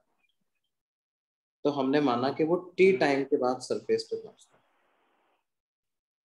कितने टाइम के बाद सरफेस पे पहुँचता है? टी टाइम के बाद सरफेस पे पहुँचता है। अच्छा तब तक ए, ए वाला हिस्सा क्या कर रहा होगा ये सोचो। तब तक ए वाला हिस्सा है?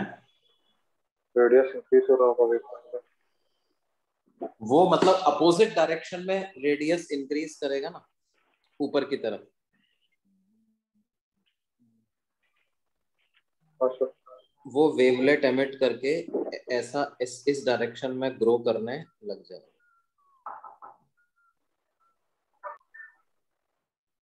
है ना?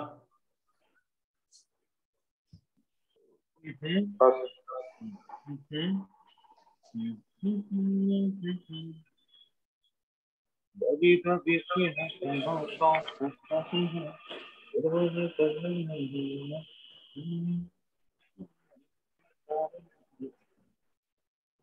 हाँ बेटा क्या बोल रहे हो?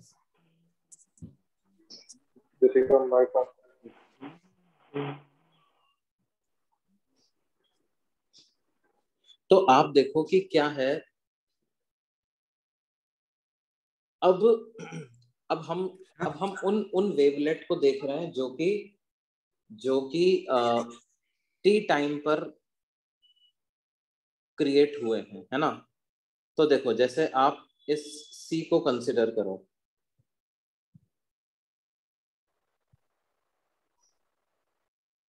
बी से सी तक जाने में टी टाइम लग रहा है है ना? बी से सी तक जाने में टी टाइम लग रहा है। तो B C distance V T के बराबर है। BC distance is equal to V T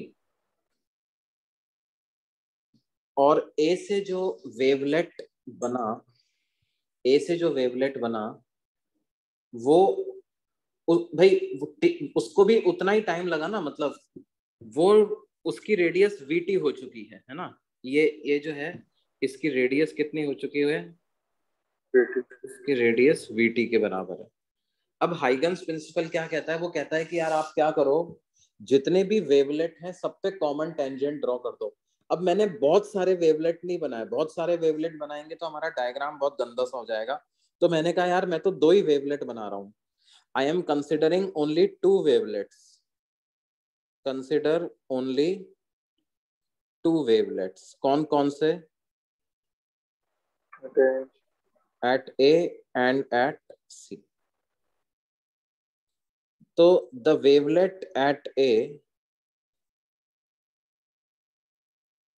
has radius vt and wavelet at c has radius zero. ठीक है? तो ज़ीरो पॉइंट जैसा ही है। अब मैं इन दो इस कॉमन टेंजेंट अगर बना दूँ तो वो मेरे को वेव फ्रंट दे देगा। Now common tangent to these two wavelet common tangent to these two wavelets will give us wavefront at time t. तो यहाँ पे मैंने कॉमन टेंजेंट बना दिया वो कॉमन टेंजेंट ऐसा बन गया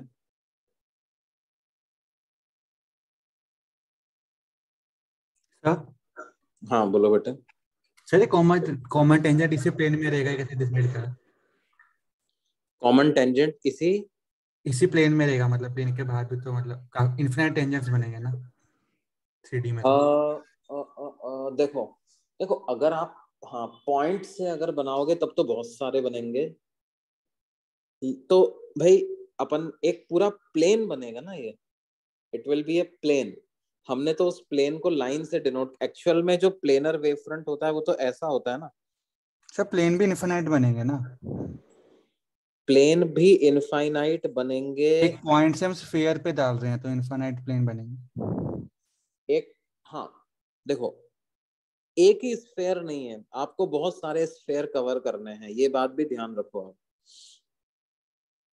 आपको क्या है? देखो भाई ये सी पॉइंट वाले स्फेयर की रेडियस ज़ीरो है। लेकिन आ, ये वेव फ्रंट सी पे पहुंचेगा उसके पहले यहाँ किसी पॉइंट पे पहुँच चुका हो। यहाँ पहुंचेगा उसके पहले यहाँ किसी पॉइंट पे पहुँच चुका होगा तो इन सबसे भी तो स्फेयर्स बनना चालू हो जाएँगे ना। उन सब पे कॉमन टेंजेंट बनाना है आपको। तो उन सब पे जब आप कॉमन टेंजेंट बनाओगे तो वो कोई बहुत सारे डिफरेंट प्लेन्स नहीं बनेंगे वो आपको एक ही प्लेन बनेगा। ये बात समझ में आती है? हाँ। अब वो इसलिए नहीं बना रहे हैं your figure will get messy है ना? वो थ्री डायमेंशन में तो वैसे भी अपन बना नहीं पाएँगे। अब देखो क्या है ये आपका जो मैंने व्हाइट कलर में बनाया है ये रिफ्लेक्टेड वेव फ्रंट हो गया है आपका। This is a reflected wave front और ये रिफ्लेक्टेड वेव फ्रंट पे अगर मैं नॉर्मल ड्रॉ कर दूँ, जैसे यहाँ पे नॉर्मल ड्रॉ कर दूँ आप तो वो direction of propagation of light दे देगा रिफ्लेक्टेड लाइट और इस फेयर पे नॉर्मल कैसे ड्रॉ करेंगे, उसको सेंटर से ज्वाइन कर दो। तो ये आपको क्या मिल जाएगा? रिफ्लेक्टेड लाइट मिल जाएगी।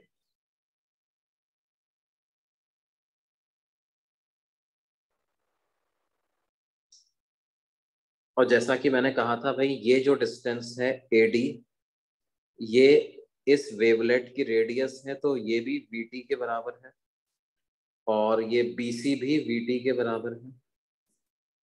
ए डी और बी सी बराबर हैं आपस में तो इसका मतलब ट्राइंगल ए डी सी और ट्राइंगल ए बी सी ये कॉन्ग्रुएंट हो गए हैं। और अगर ये कॉन्ग्रुएंट ट्राइंगल्स हैं, इसका मतलब क्या है? कि जैसे वीटी के सामने वाला एंगल ये बन रहा है और एडी के सामने वाला एंगल ये बन रहा है। तो ये एंगल भी आपस में बराबर है।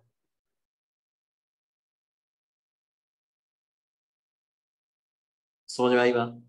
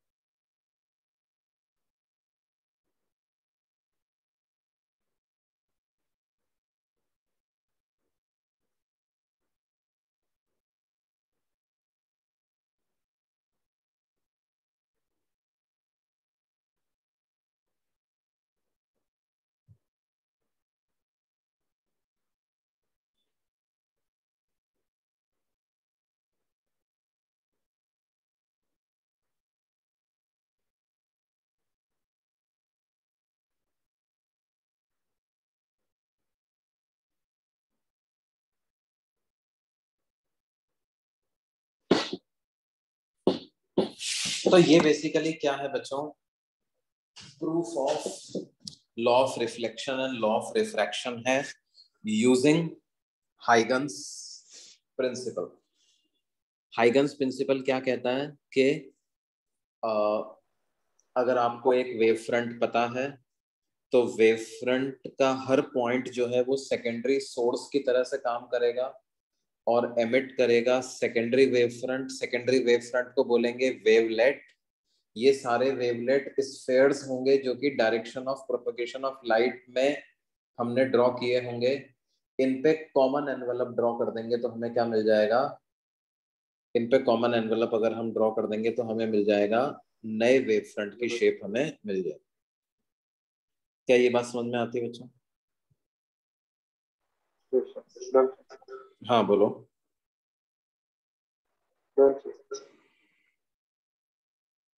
हाँ बेटे बोलो। बोलो हम्म। सर कॉपी कैसे हो? कॉपी कर लिया? ओके। देखो। अब हम बात करेंगे किसकी? यंग्स डबल स्लिट एक्सपेरिमेंट की।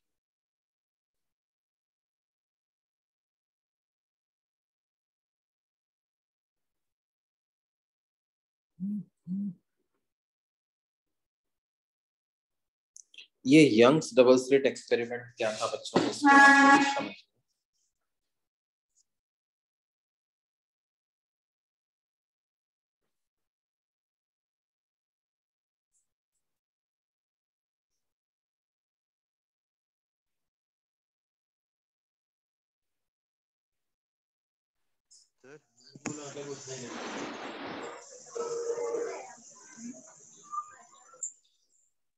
हेलो।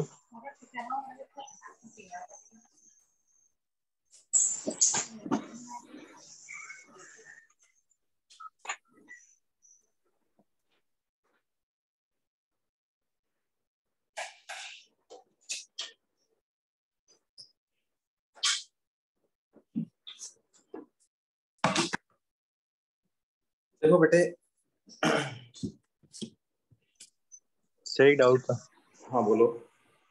सर वो अपनी इससे पहले वाला टॉपिक पढ़ाते हुए बताया था ना स्नेल्स लॉ प्रूफ कर रहे थे आप हाइजीन प्रिंसिपल से। हाँ। तो उसमें आपको पता है कि v2 by sin r v1 by sin कि हमेशा डायरेक्टली प्रोपोर्शनल होगा। हम्म मतलब प्रोपोर्शनलिटी हमेशा ट्रू होगी। हम्म तो उससे आपने कुछ बोला था सर इम्पोर्टेंट एक बार रिपीट कर दो?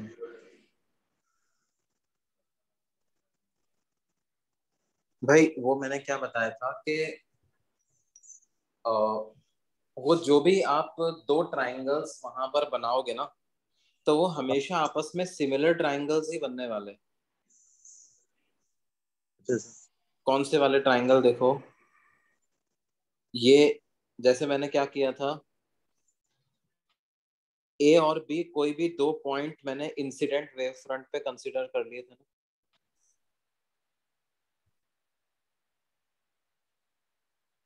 I considered any two points on A and B on incident wavefront. ठीक है? और फिर मैंने कहा कि भाई, B से C जाने में T टाइम लगता है तो उस टी टाइम में ए से निकलने वाला वेवलेट की रेडियस वी टू टी हो जाएगी। वी वन टी लगता है ये डिस्टेंस तो ये इसकी रेडियस वी टू टी हो जाएगी। तो मैंने इस तरह के दो ट्राई अब मैं क्या बोल रहा था कि भाई आप बी की जगह कोई पास वाला पॉइंट भी कंसिडर कर लेते या कोई दूर वाला पॉइंट भी कंसिडर कर लेते तो फिर से सिमिलैरिटी तो इसी तरह की लगती ना उन दोनों ट्राइंगल्स में।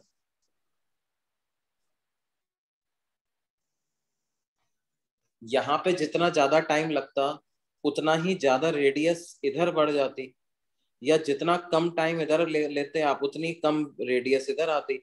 तो वो ट्राइंगल तो सारे आ, मतलब सिमिलैरिटी तो सेम ही तरह की लगती ना वहाँ पे।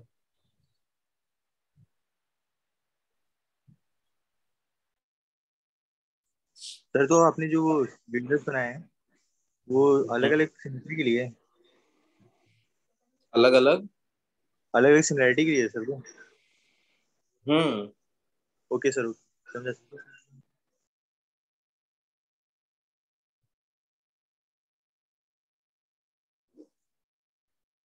अब देखो यंग डबल स्लिट एक्सपेरिमेंट क्या था? uh, एक कार्डबोर्ड लिया गया और इस कार्डबोर्ड पे दो स्लिट्स बना दी गई है ना? एक कार्डबोर्ड हमने लिया और उस कार्डबोर्ड पे दो स्लिट्स बना दी।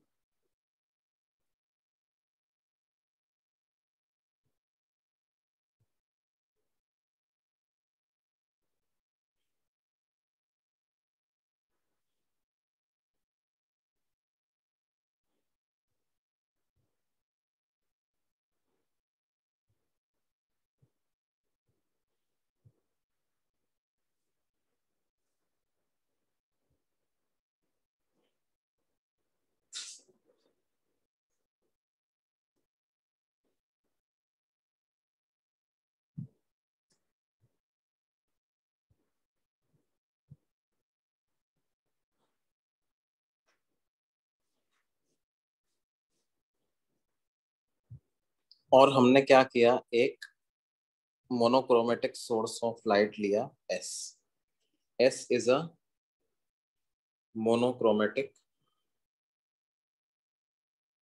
source of उस समय पे मोनोक्रोमेटिक सोर्स ऑफ़ लाइट मतलब सोडियम लैंप लिया गया। जो कि येलो लाइट एमिट करता है ऑलमोस्ट मोनोक्रोमेटिक है। अब देखो, उस समय तक जो लोगों को लाइट की प्रोपगेशन की थ्योरी के बारे में पढ़ा था, वो पता था, वो तो यही पता था ना लाइट स्ट्रेट लाइन में ट्रेवल करती है। तो आपका एक्सपेक्टेड रिज़ल्ट क्या होगा बताओ? क्या एक्सपेक्टेड रिज़ल्ट यही होना चाहिए कि यहाँ से कई सारी रेज निकलेंगी और वो उनमें, उन कई सारी रेज में से कई सारी रेज तो ये कार्डबोर्ड ब्लॉक कर देगा। और वो रे जो कि इस स्लिट पे इंसिडेंट होंगी, वो ब्लॉक नहीं हो पाएँगी। और क्योंकि वो ब्लॉक नहीं हो पाएँगी तो क्या होगा? वो ऐसे S1 की तरफ़ जाने वाली जो रे है, वो सीधी आगे निकल जाएगी। क्यों बेटा? और इसी तरह से S2 से जाने वाली रे भी ऐसे सीधी आगे निकल जाएगी। क्या यही एक्सपेक्टेड बिहेवियर था? तो एक्सपेक्टेड बिहेवियर तो क्या था कि यहाँ पर मेरे को डार्क रीजन मिलना चाहिए। इधर भी डार्क रीजन मिलना चाहिए।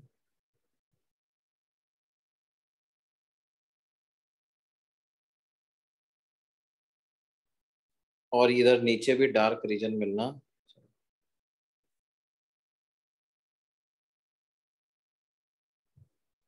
क्यों बेटे? यस यस यस और बस ये वाला जो हिस्सा है इतना सा थोड़ा सा यहाँ पे मेरे को कुछ लाइट का स्पॉट मिलना चाहिए और यहाँ पे भी छोटा सा लाइट का स्पॉट मिलना चाहिए। क्यों बेटा? हाँ यस सर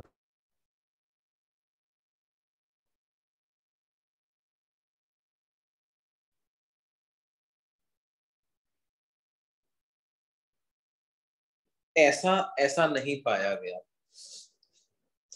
एक्चुअल रिज़ल्ट जो था वो कुछ इस तरह का पाया गया। जैसे ये एक स्क्रीन है है ना? कोई ब्लैंक कार्डबोर्ड है। इसका मैं फ्रंट तो मैं, का एक्सपेरिमेंटल रिज़ल्ट जो आया वो कुछ इस तरह का आया। क्या मिला लोगों को? जैसे इस वाले पॉइंट को मैं कुछ ओ नाम दे देता हूँ। ओ तो ओ पॉइंट पे क्या हुआ मेरे को? एक येलो लाइन दिखे at point O a yellow line was obtained on the screen at point O a yellow line was obtained on the screen ये बात सुन में आती उसके बाद क्या हुआ? इंटेंसिटी येलो लाइन की धीरे धीरे कम होती गई। और कुछ देर के बाद कंप्लीटली डार्क लाइन मेरे को दिखाई दी। है ना? मतलब ये येलो येलो येलो उसकी इंटेंसिटी धीरे धीरे कम होती गई और फिर क्या हुआ? एक कंप्लीटली डार्क लाइन दिखाई दी मेरे को। फिर वापस से येलो का बैंड दिखाई दिया। और बीच में एक डार्क लाइन दिखाई दी। फिर येलो का बैंड फिर एक डार्क लाइन मतलब अगर मैं ग्राफ के माध्यम से इसको शो करूँ बच्चों तो इंटेंसिटी कैसी दिखाई दी मेरे को? ओ पॉइंट पर तो इंटेंसिटी मैक्सिमम दिखाई दी और उसके पास इंटेंसिटी कम होते होते ज़ीरो हो गई। वो डार्क लाइन का मतलब zero intensity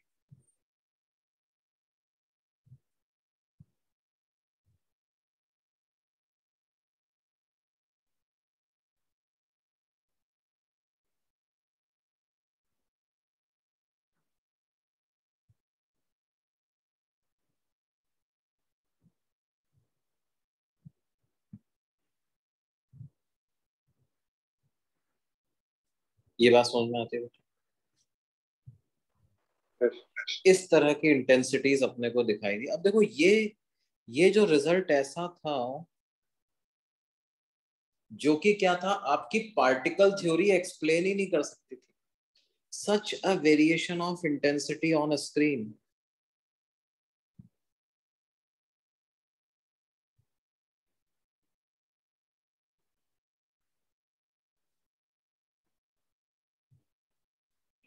could not be explained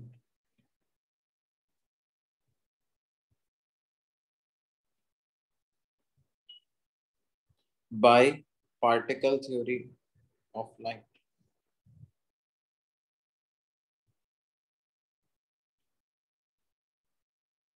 ये पार्टिकल थ्योरी ऑफ़ लाइट से एक्सप्लेन ही नहीं हो पा रहा है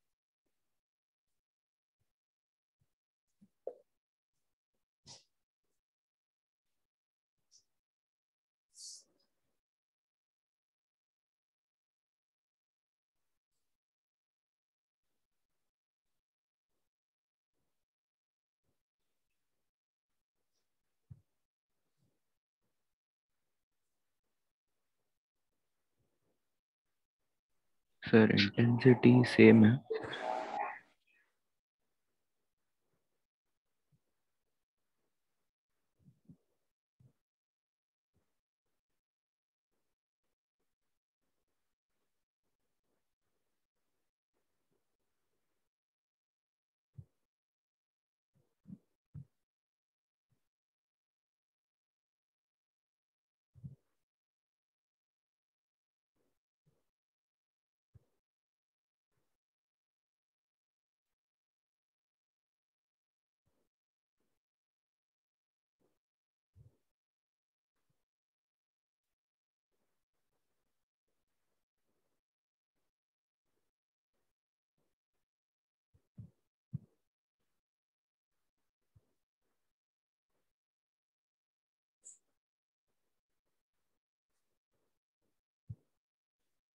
ये बात समझ में आती है।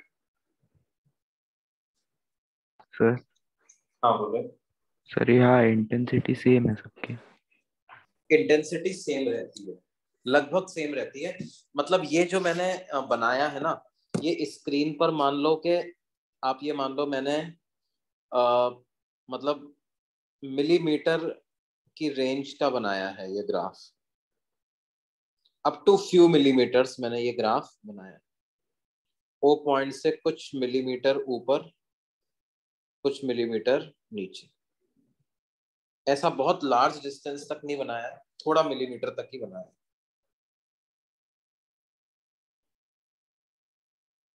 सेम रहती खास फ़र्क नहीं आता।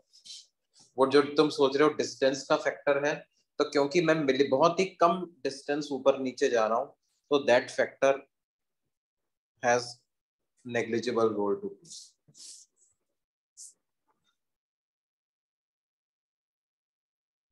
अब देखो, ये ये जो चीज़ है ना, ये किससे किससे पता चलती है ये चीज़ पता चलती है above result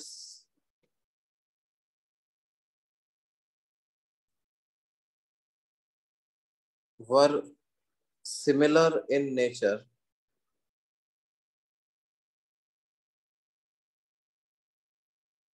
to the result of interference of sound waves और इंटरफेरेंस एक ऐसा फिनोमेना है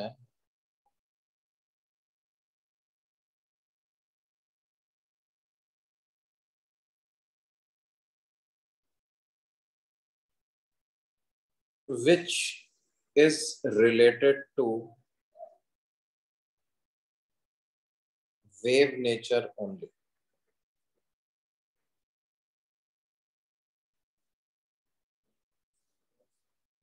Interference का मतलब क्या होता है देखो ध्यान दो two or more particles can not be present at the same place at the same time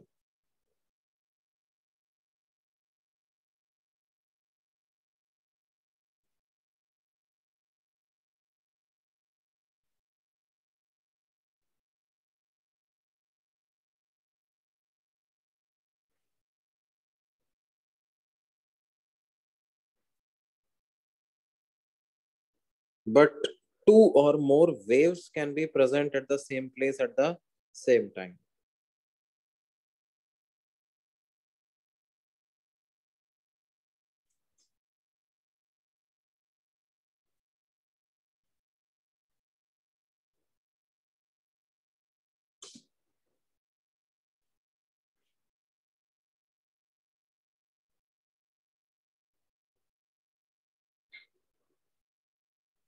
क्या ये बात समझ में आती है बेटा?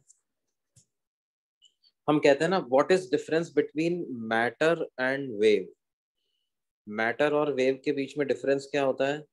Matter occupies space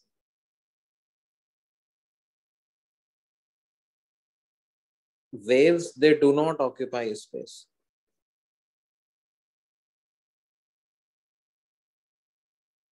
ये बात समझ में आती है?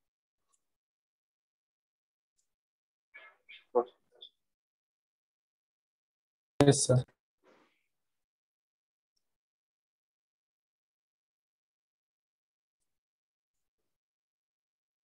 तो बात क्या है? Matter does not show interference होता ही ये है। दो या उससे ज़्यादा वेव्स का एक साथ एक ही जगह पे प्रेजेंट होने की वजह से उस रीजन में एनर्जी का रीडिस्ट्रीब्यूशन हो जाने को ही इंटरफेरेंस कहते हैं। They do not show interference.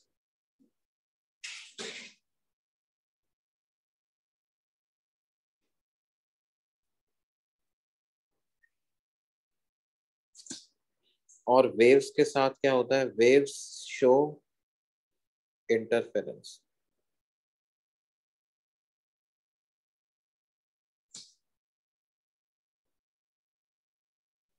क्या ये बात समझ में आती है बेटा?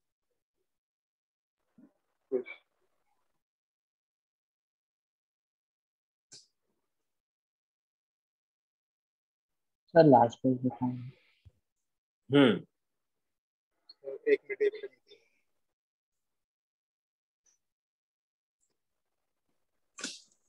हो गया सर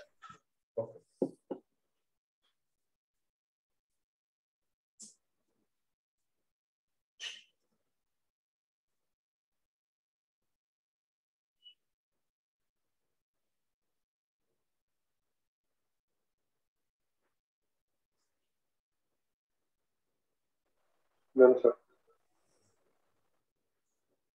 मतलब वो दो स्पॉट्स के बीच में डार्क रीजन नहीं रहेगा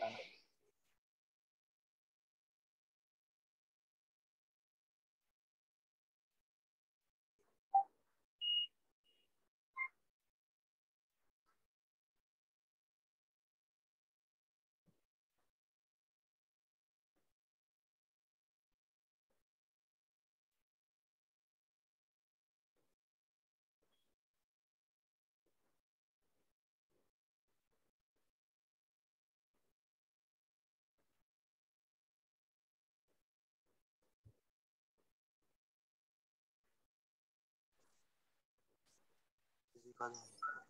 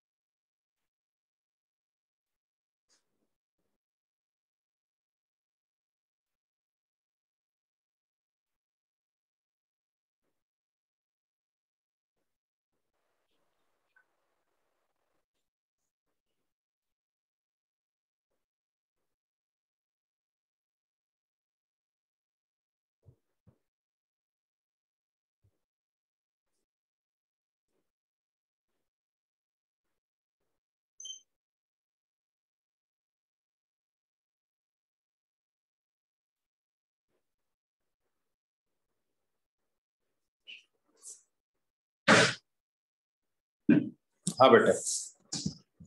नोट कर लिया सर मतलब वो दो जो येलो स्पॉट्स है उसके बीच में डार्क रीजन नहीं होगा कौन सा कौन सा बेटे? दोनों स्पॉट्स के बीच में डार्क रीजन नहीं होगा ना स्क्रीन पर।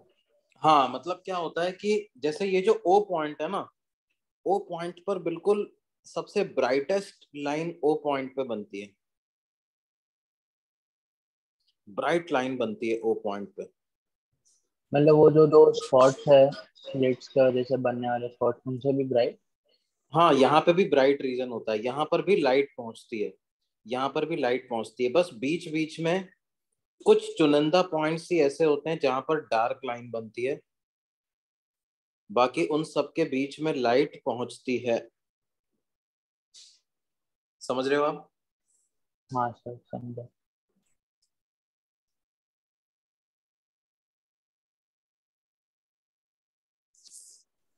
सर ये पेज थोड़ा नीचे कर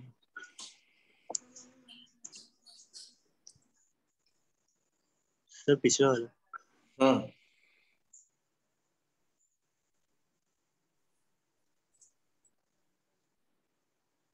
डन सर ओके अब देखो लोगों ने कहा कि ये हो कैसे रहा है? उन्होंने कहा देखो ऐसा है कि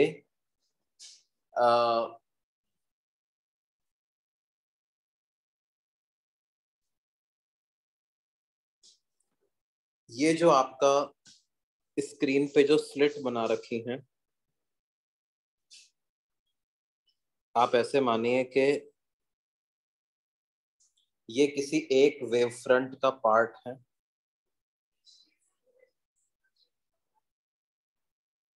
Both the slits are part of a wave front जो कि यहाँ से निकल रहा होगा, है ना? अब हुआ क्या कि इस ये वाला वेव फ्रंट यहाँ पे तो एग्जिस्ट ही नहीं कर पाया। इधर से तो हटा दो आप इसको।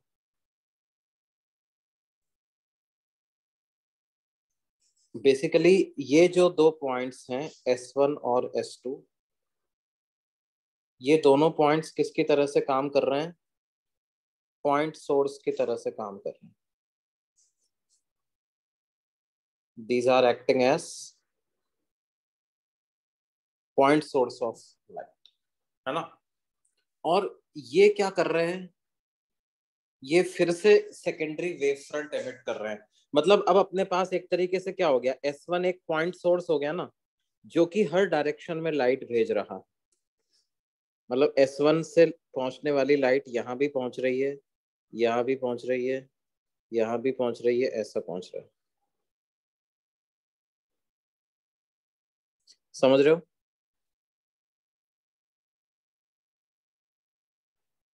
और S2 से पहुँचने वाली लाइट भी इन सब जगहों पे पहुँच रही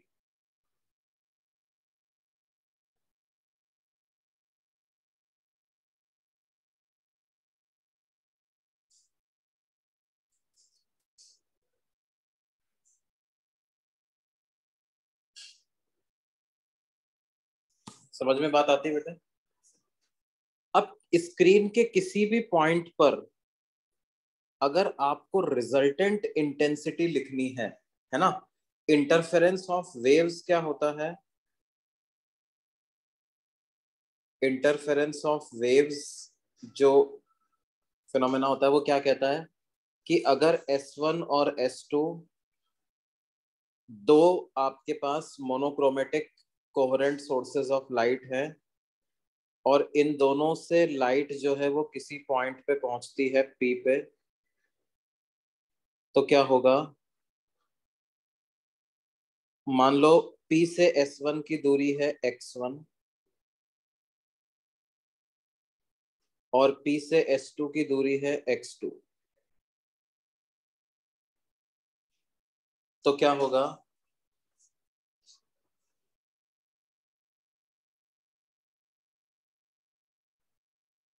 बेसिकली x1 और x2 के हिसाब से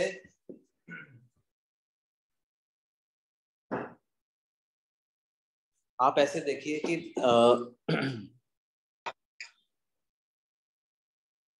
एस वन से निकलने वाली लाइट की इक्वेशन अपन ऐसे लिखते हैं। A sine omega T minus K X one और एस टू से निकलने वाली लाइट की इक्वेशन अपन ऐसे लिख दे। A two sine omega T minus K X two तो इन दोनों के फ़ेज़ में डिफरेंस क्या हो जाएगा? इन दोनों के फ़ेज़ में डिफरेंस हो जाएगा। Omega T minus K X one minus omega T minus K X two तो ओमेगा टी से ओमेगा टी कैंसिल होकर के ये value K into X two minus X one के बराबर आ जाएगी। क्या इसको डेल्टा फाइव बोलूँगा मैं? Phase difference between two waves. और ये रिजल्टेंट इंटेंसिटी जो पी पॉइंट पे दी जाती है, वो इन दोनों के सुपर पोजिशन से दी जाती है। मतलब y1 one plus Y two से दी जाएगी। y की वैल्यू क्या हो जाएगी? A one sine omega T minus K X one plus A two sine omega T minus K X two. तो इन दोनों के एडिशन से हमारे पास रिजल्टेंट इंटेंसिटी आ जाएगी। और हमें पता है, हा, दो ट्रिग्नोमेट्रिक फ़ंक्शंस को कैसे ऐड करते हैं? इनका रिजल्टेंट कुछ इसी टाइप का आ जाता है A sine omega T plus theta type का ही इसका रिजल्टेंट आ जाता है। जहाँ पे ए की क्या वैल्यू होती है? जहाँ पे ए की वैल्यू होती है under root of A one square plus A two square plus two A one A two cos delta phi या ये हो जाएगा under root of A one square plus A two square plus two A one A two cos of K delta X ये बात समझ में आती? है और इंटेंसिटी जो होती है ना, वो एम्पलीट्यूड के स्क्वायर के प्रोपोर्शनल होती है बच्चों। तो अगर मैं ए स्क्वायर लिखूँगा तो वो किसके बराबर आ जाएगा?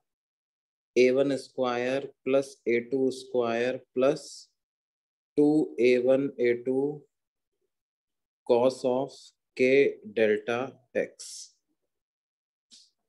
A square की जगह हम लिख देंगे सम कांस्टेंट इनटू आई तो आई रिजल्टेंट इंटेंसिटी कितनी मिल जाएगी मेरे को? I one plus I two plus two I one I two cos of delta phi delta five को हम जनरली के डेल्टा एक्स लिख देते हैं। Root I one I two आएगा ना? यहाँ पर रूट आएगा। Root I one I two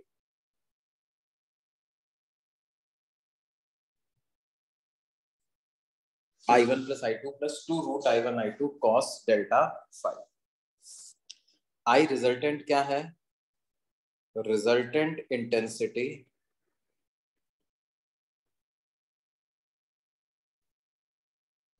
obtained due to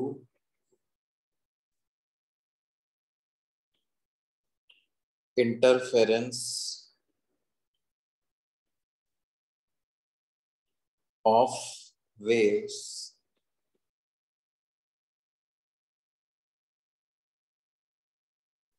obtained from superposition of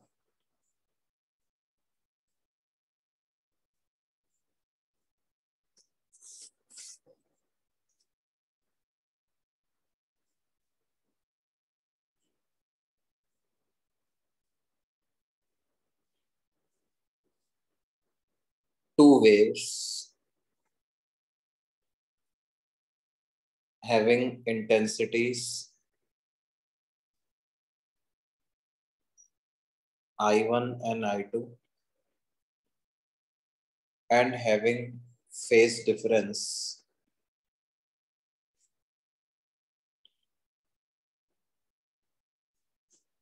delta phi two waves की जगह हम यहाँ पर एक एडजेक्टिव यूज़ करेंगे टू कोहरेंट वेव्स कोहरेंट का वेव्स का मतलब क्या होता है? Coherent waves are those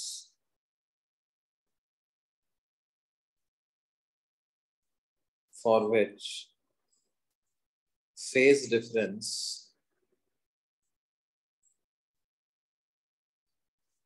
is independent of time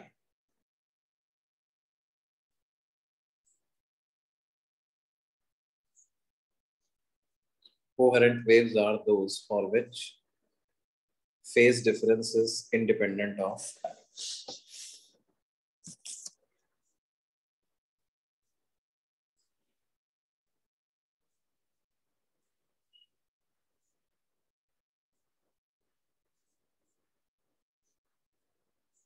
ये बात समझ में आती है बेटा yes अब देखो क्या है ये जो है वो किसी भी जनरल वेव के लिए यूज़ करते हैं अपन ये वाला प्रिंसिपल चाहे वो साउंड वेव हो, चाहे वो वेव ऑन स्ट्रिंग हो, किसी भी तरह की वेव हो, उसके लिए आप ये वाला कंसेप्ट से रिजल्टेंट इंटेंसिटी पता करते हो अब ध्यान दो कि लोगों ने कहा कि यार अच्छा अगर अपन यही वाला कंसेप्ट लाइट में भी लगा दें तो क्या होना चाहिए? उन्होंने कहा, यार देखो, हो हाँ बेटे बोलो।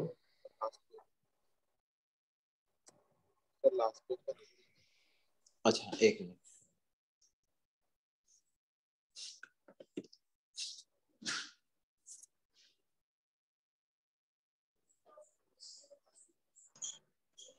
पहले का पेज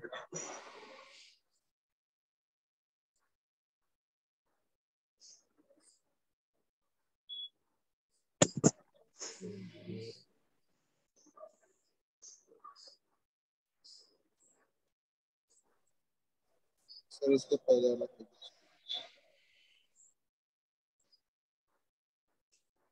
हाँ। बेटा नोट कर लिए।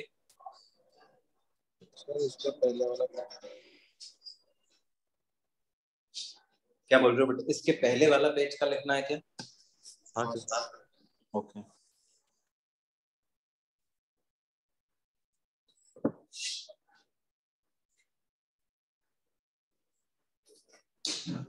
Done sir no sir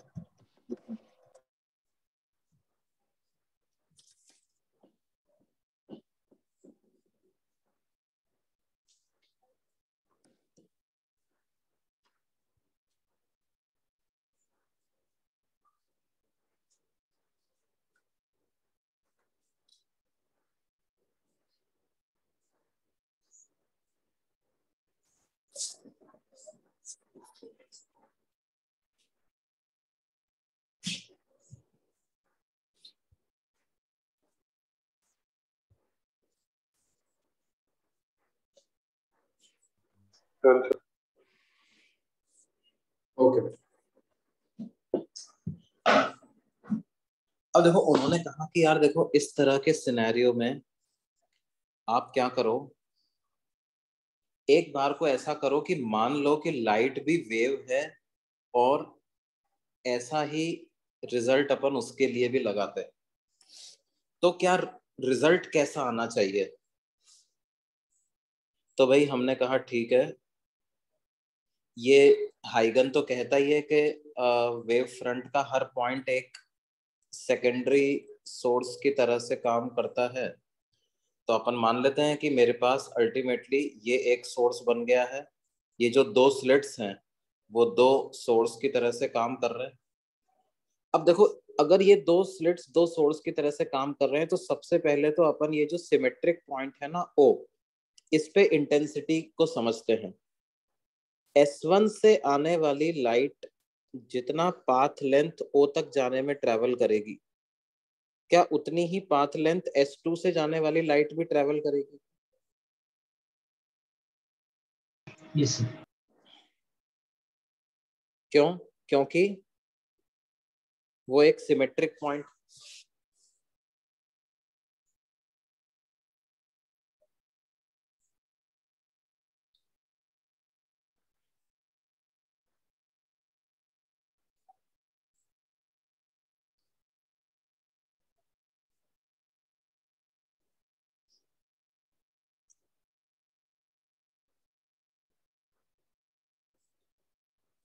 क्या ये बात समझ में आती है यस सर इसका मतलब क्या मैं बोल सकता हूँ कि delta x at O is zero?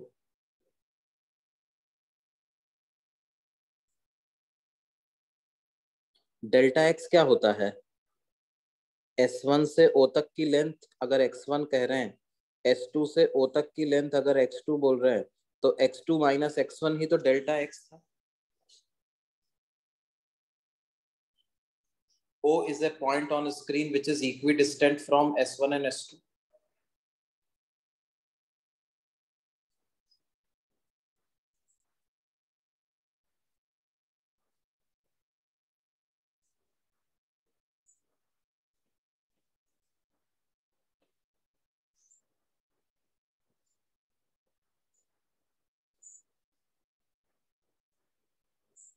क्यों बेटे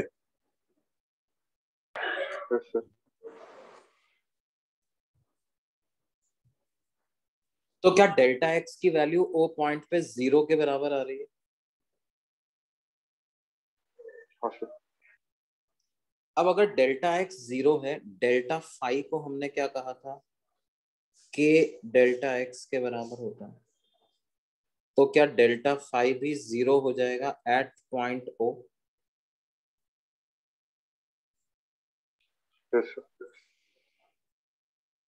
ये भी ज़ीरो के बराबर हो जाएगा कहाँ पर? ओ पॉइंट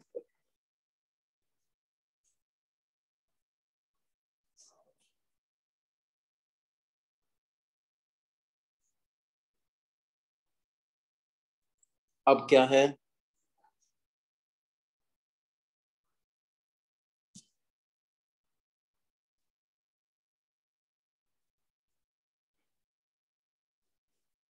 रिजल्टेंट इंटेंसिटी का क्या फॉर्मूला होता है? I one plus I two plus two root I one I two cos delta phi if delta phi is zero क्या मैं बोल सकता हूँ? Cos delta phi is equal to 1 and it is maximum value of cos delta phi. क्यों बेटे? तो क्या इसका मतलब resultant intensity I one plus I two plus two root I one I two ऐसी हो जाएगी? यस इसको आप root I one plus root I two का होल स्क्वायर ऐसा लिख सकते हो।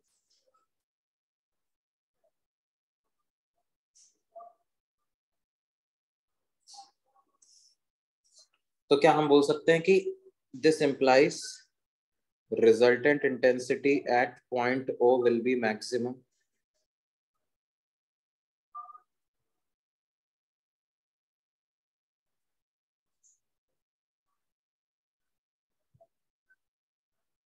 क्या ऐसा बोल सकते हैं बच्चे?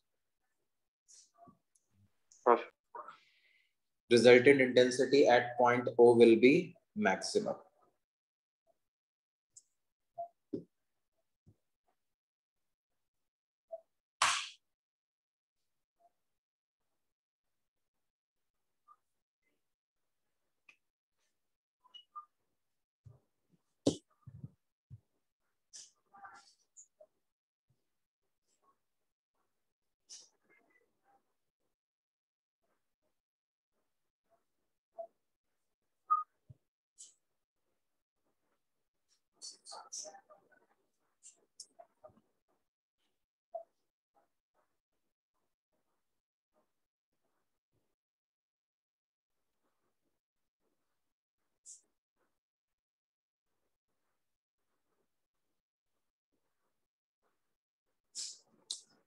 है ना? क्या जो हमारा एक्सपेरिमेंट था उससे भी यही रिज़ल्ट मिल रहे थे अपने को प्रैक्टिकली कि ओ पॉइंट पर इंटेंसिटी ज़ीरो नहीं मिल रही थी बल्कि मैक्सिमम मिल रही थी? यस सर हाँ सर अच्छा एक बात और ध्यान दो कि there will be other points also apart from O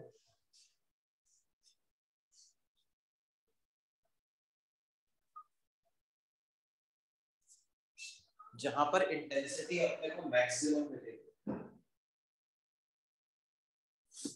there will be other points also apart from O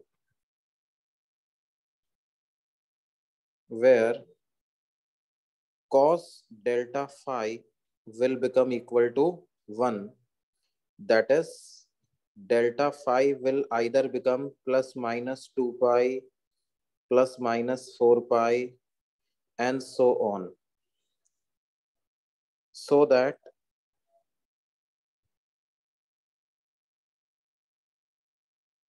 resultant intensity at those points will also be same as that of O.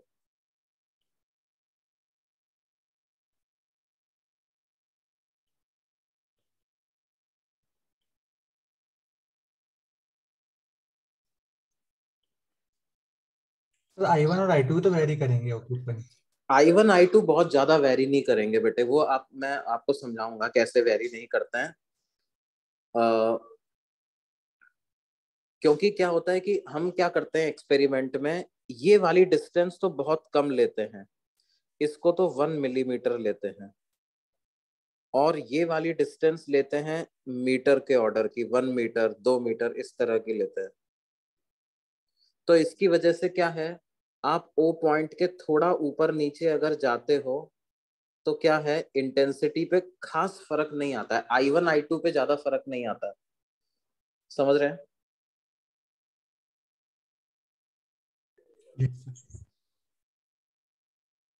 भाई तुम distance की वजह से ही बोल रहे हो ना? भाई मैं क्या कह रहा हूँ कि जो डिस्टेंस एक्स वन है वही मतलब ये वाली डिस्टेंस भी लगभग उतनी है। मतलब खास फ़र्क नहीं है इन दोनों में। हाँ सर क्योंकि ये ये तो मिलीमीटर के ऑर्डर का लिया हुआ है मैंने।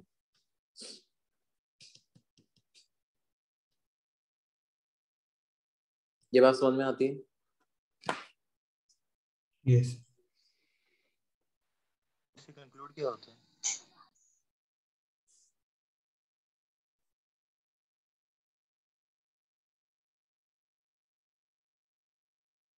सर स्क्रीन पे कितनी लेंथ तक मतलब ऐसे पैसेज दिखते रहेंगे uh, कितनी लेंथ तक? मतलब देखो वो डिपेंड करता है।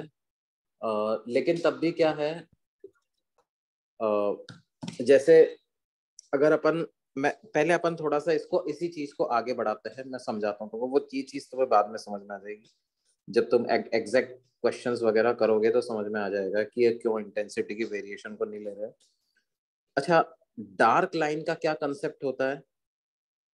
कि अगर मान लो if there is a point on screen if या if there are point on the screen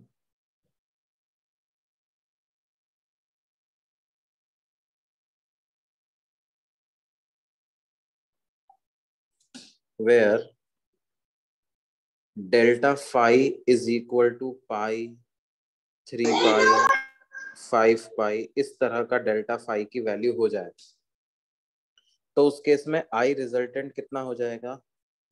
I one plus I two plus two root I one I two और कॉस डेल्टा फाइव की value minus one हो जाएगी। तो I resultant क्या? I one plus I two minus two root I one I two ऐसा हो जाएगा।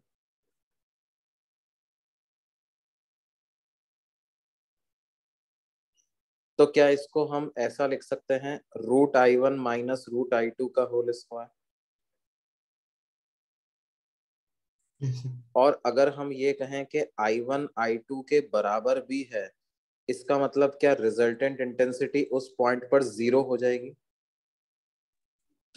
Yes. इसका मतलब at these points a dark line will be obtained.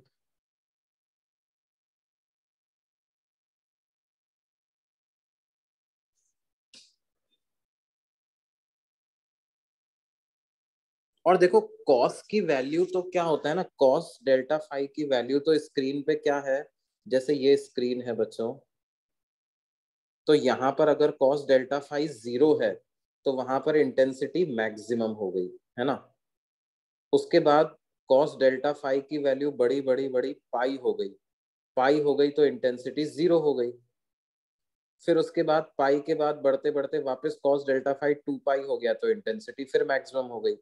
फिर टू पाई के बाद बढ़ते बढ़ते क्या हो गया?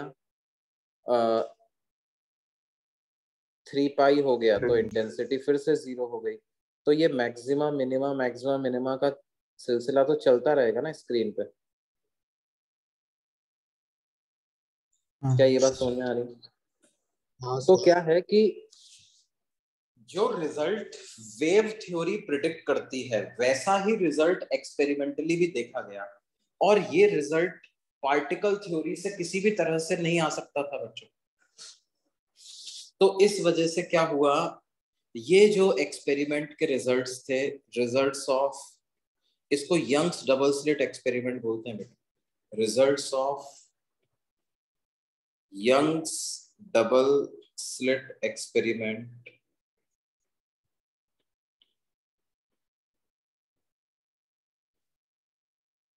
could only be explained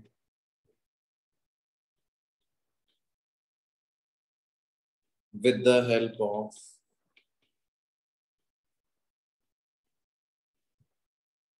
wave theory of light.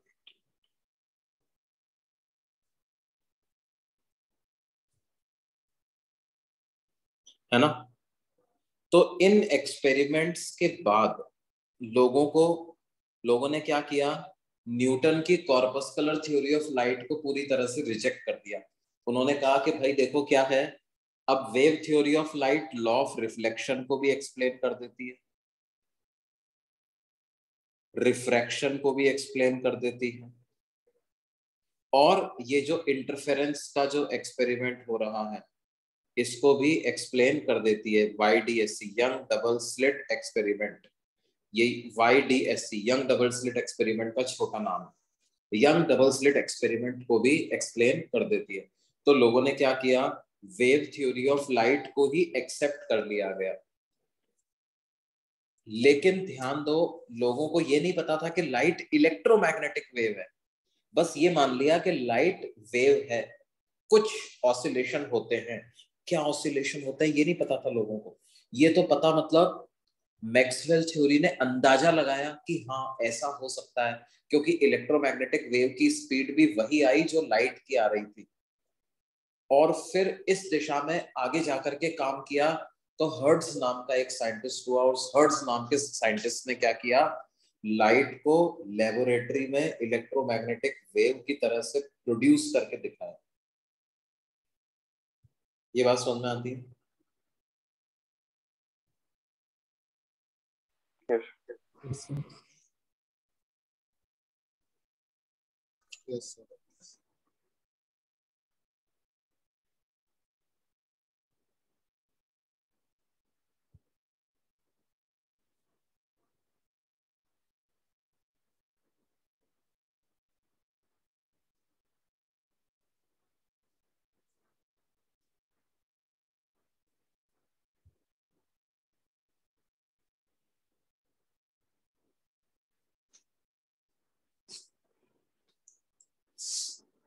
अब देखो बच्चों, इसमें क्या है? अगर हम इन, इसी चीज़ को आगे बढ़ाए मतलब स्क्रीन पर, इस ओ पॉइंट से कुछ वाई डिस्टेंस पर अगर चले जाए, है ना?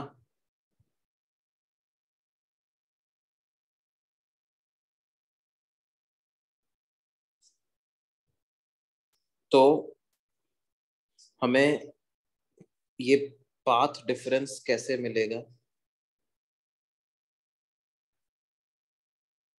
इस डिस्टेंस को x1 कहें, इस डिस्टेंस को x2 कहें, ये वाली डिस्टेंस है स्मॉल d, ये डिस्टेंस है कैपिटल D. तो हम क्या लिख सकते हैं? देखो इस स्लिट के ठीक सामने आप पहुँच गए।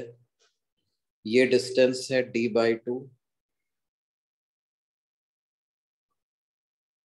तो ये वाली डिस्टेंस क्या हो जाएगी? y minus d by two और ये डिस्टेंस कैपिटल डी है. तो x1 को क्या लिख देंगे? x1 हो जाएगा under root of y minus d by two का whole square plus capital D का स्क्वायर x2 हो जाएगा अंडर रूट ऑफ़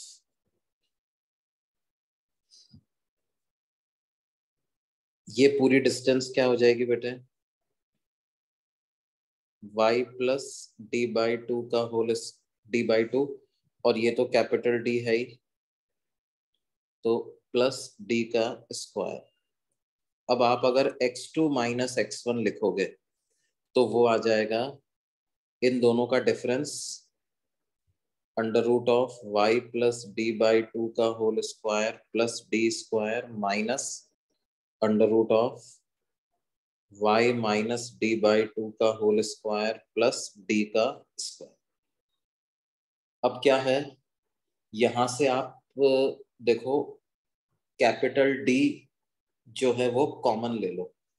तो क्या बच जाएगा आपके पास? कैपिटल डी बाहर आ गया।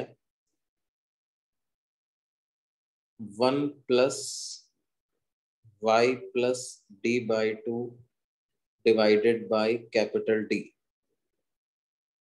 इस पूरे का होल स्क्वायर की power one by two minus one plus y minus d by two divided by capital D का होल स्क्वायर उसकी पावर भी वन बाई और ये ब्रैकेट बंद। तो डेल्टा एक्स की वैल्यू लिख रहे हैं अपन कैपिटल डी की वैल्यू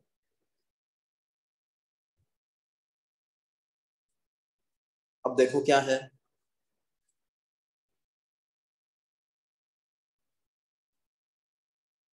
हम ये मान के चल रहे हैं कि कैपिटल डी जो है, ये बहुत बड़ा है in comparison to small d और कैपिटल डी बहुत बड़ा है in comparison to y also y भी छोटा है वाई ज़्यादा बड़ा नहीं तो इसकी वजह से क्या है, पूरा y plus d by two capital D के कंपैरिजन में छोटा तो उसका स्क्वायर भी छोटा ही होगा। तो ये हो जाएगा one plus half of y plus d by two divided by capital D का whole square minus one plus half of y minus d by two divided by capital D का होल स्क्वायर। तो ये value हमारे पास क्या आ जाएगी?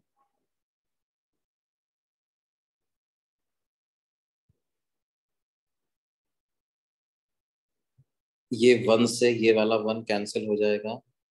Half common आ गया। Capital D का square भी बाहर आ गया। Y plus d by two का whole square minus y minus d by two का होल स्क्वायर तो a plus b into a minus b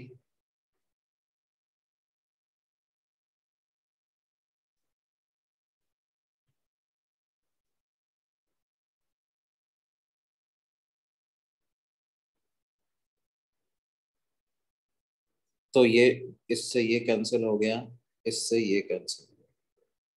तो ये इससे कैंसिल यहाँ पर वन बाई टू डी आ जाता है। और ये y plus y two y d by two plus d by two d तो टू वाई डी आ गया। तो टू से टू कैंसिल हो गया। तो डेल्टा x की क्या वैल्यू आ जाएगी बेटे? y D by D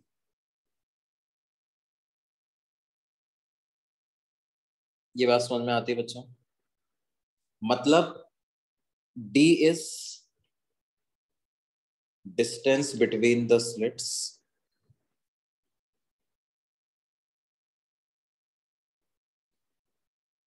capital D is distance between slits and the screen.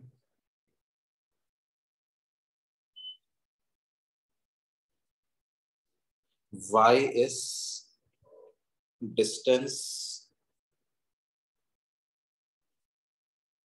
of a point on the screen from the symmetric point on the screen.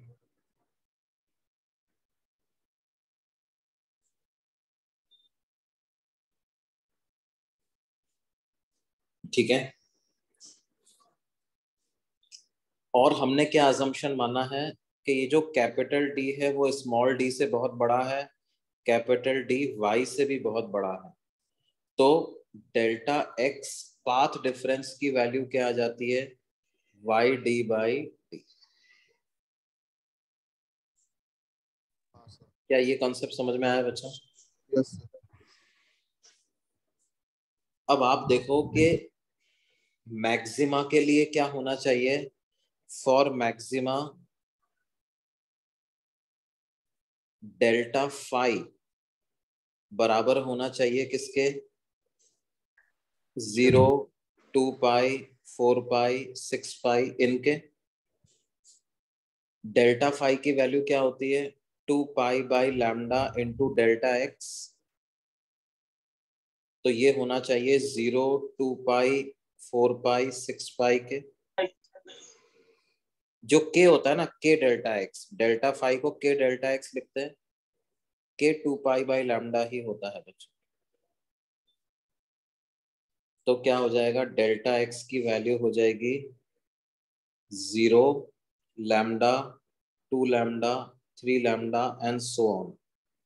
Delta x को लिख देते हैं y d by D.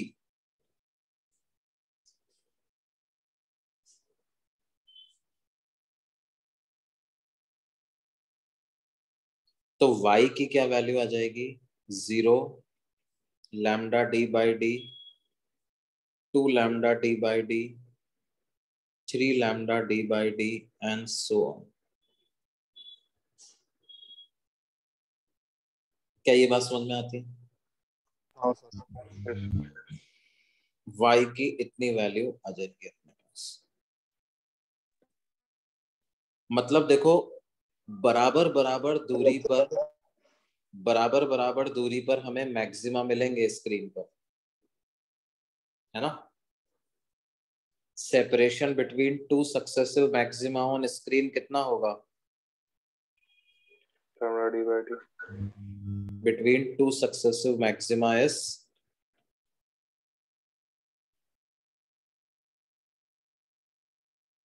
lambda d by d. और इसको बोलेंगे fringe with इसको क्या कहेंगे बच्चों? फ्रिंज विड्थ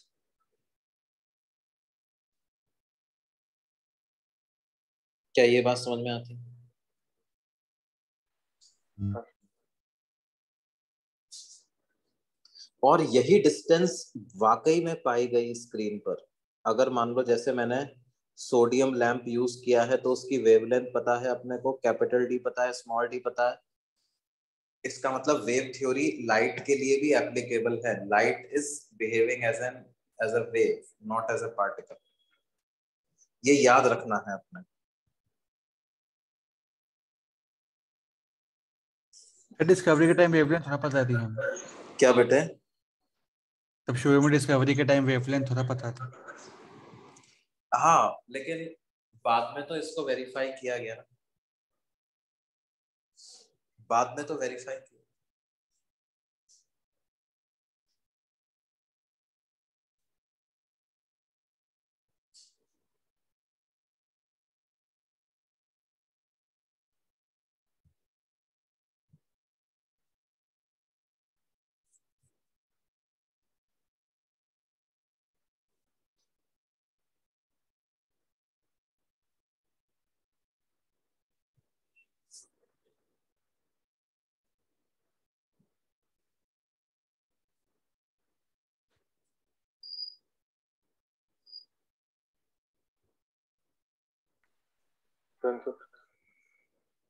नोट किया बच्चों। हाँ तो ठीक है भाई बाकी फिर अगली क्लास में पढ़ेंगे अपन इसको है ना? हाँ ओके सर हाँ बोलो। सर आपने पिछले लेक्चर हमको प्रॉब्लम्स किया था। आ बोर्ड पे पढ़ाने का ना यार देखो मैं आज इसको अभी मैं आ, आज कंफर्म करूँगा। आज तो देखो क्या है। मैं पूरा ये अस्त व्यस्त पढ़ा हुआ है एक्चुअली सर अभी आपका नेक्स्ट लेक्चर फ्राइडे को तब तक तो हो जाएगा। तब तक तो हो ही जाएगा हाँ। सर वैसे बोर्ड पे ज़्यादा डेटा कंजप्शन होता है। हाँ मैं समझ रहा हूँ बोर्ड पे ज़्यादा अच्छे से समझ में आएगा। ये बात तो 100 का आवाज़ सुन के इतना एक्सप्लेनेशन समझ में नहीं आता। कभी हाँ हाँ हाँ हाँ हाँ हाँ। अगर मतलब अगर मैक्सिमम से मैक्सिमम होगा तो क्या है मैं सेंटर किसी एक सेंटर पे जाके पढ़ा दूँगा। वहाँ पे जो बोर्ड है उसका सेटअप यूज़ करके ट्राईपॉड यूज़ करके पढ़ा दूँगा है ना? लेकिन नेक्स्ट क्लास बोर्ड पे ही लूँगा पक्का ठीक है? क्या बताया तुमने कब है नेक्स्ट क्लास अपनी अब फ्राइडे फ्राइडे हाँ तब तक तो पक्का हो ही जाएगा तब तक सर आप सेंटर पर आने वाले हैं। हाँ बेटे। सेंटर पर आओगे? हाँ हाँ हाँ। सेंटर पर आने वाला है ना बिल्कुल आने वाले हैं। कब आए? से? सर कौन से सेंटर देखो यार इस वीक का ही प्लान कर रहे हैं तुम लोगों को भी एडवांस में इंफॉर्मेशन दे दी जाएगी।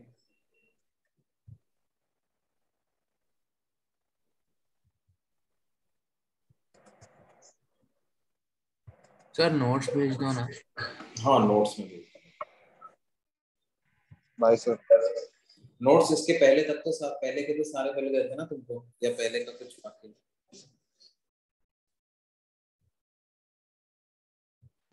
मिल गया सर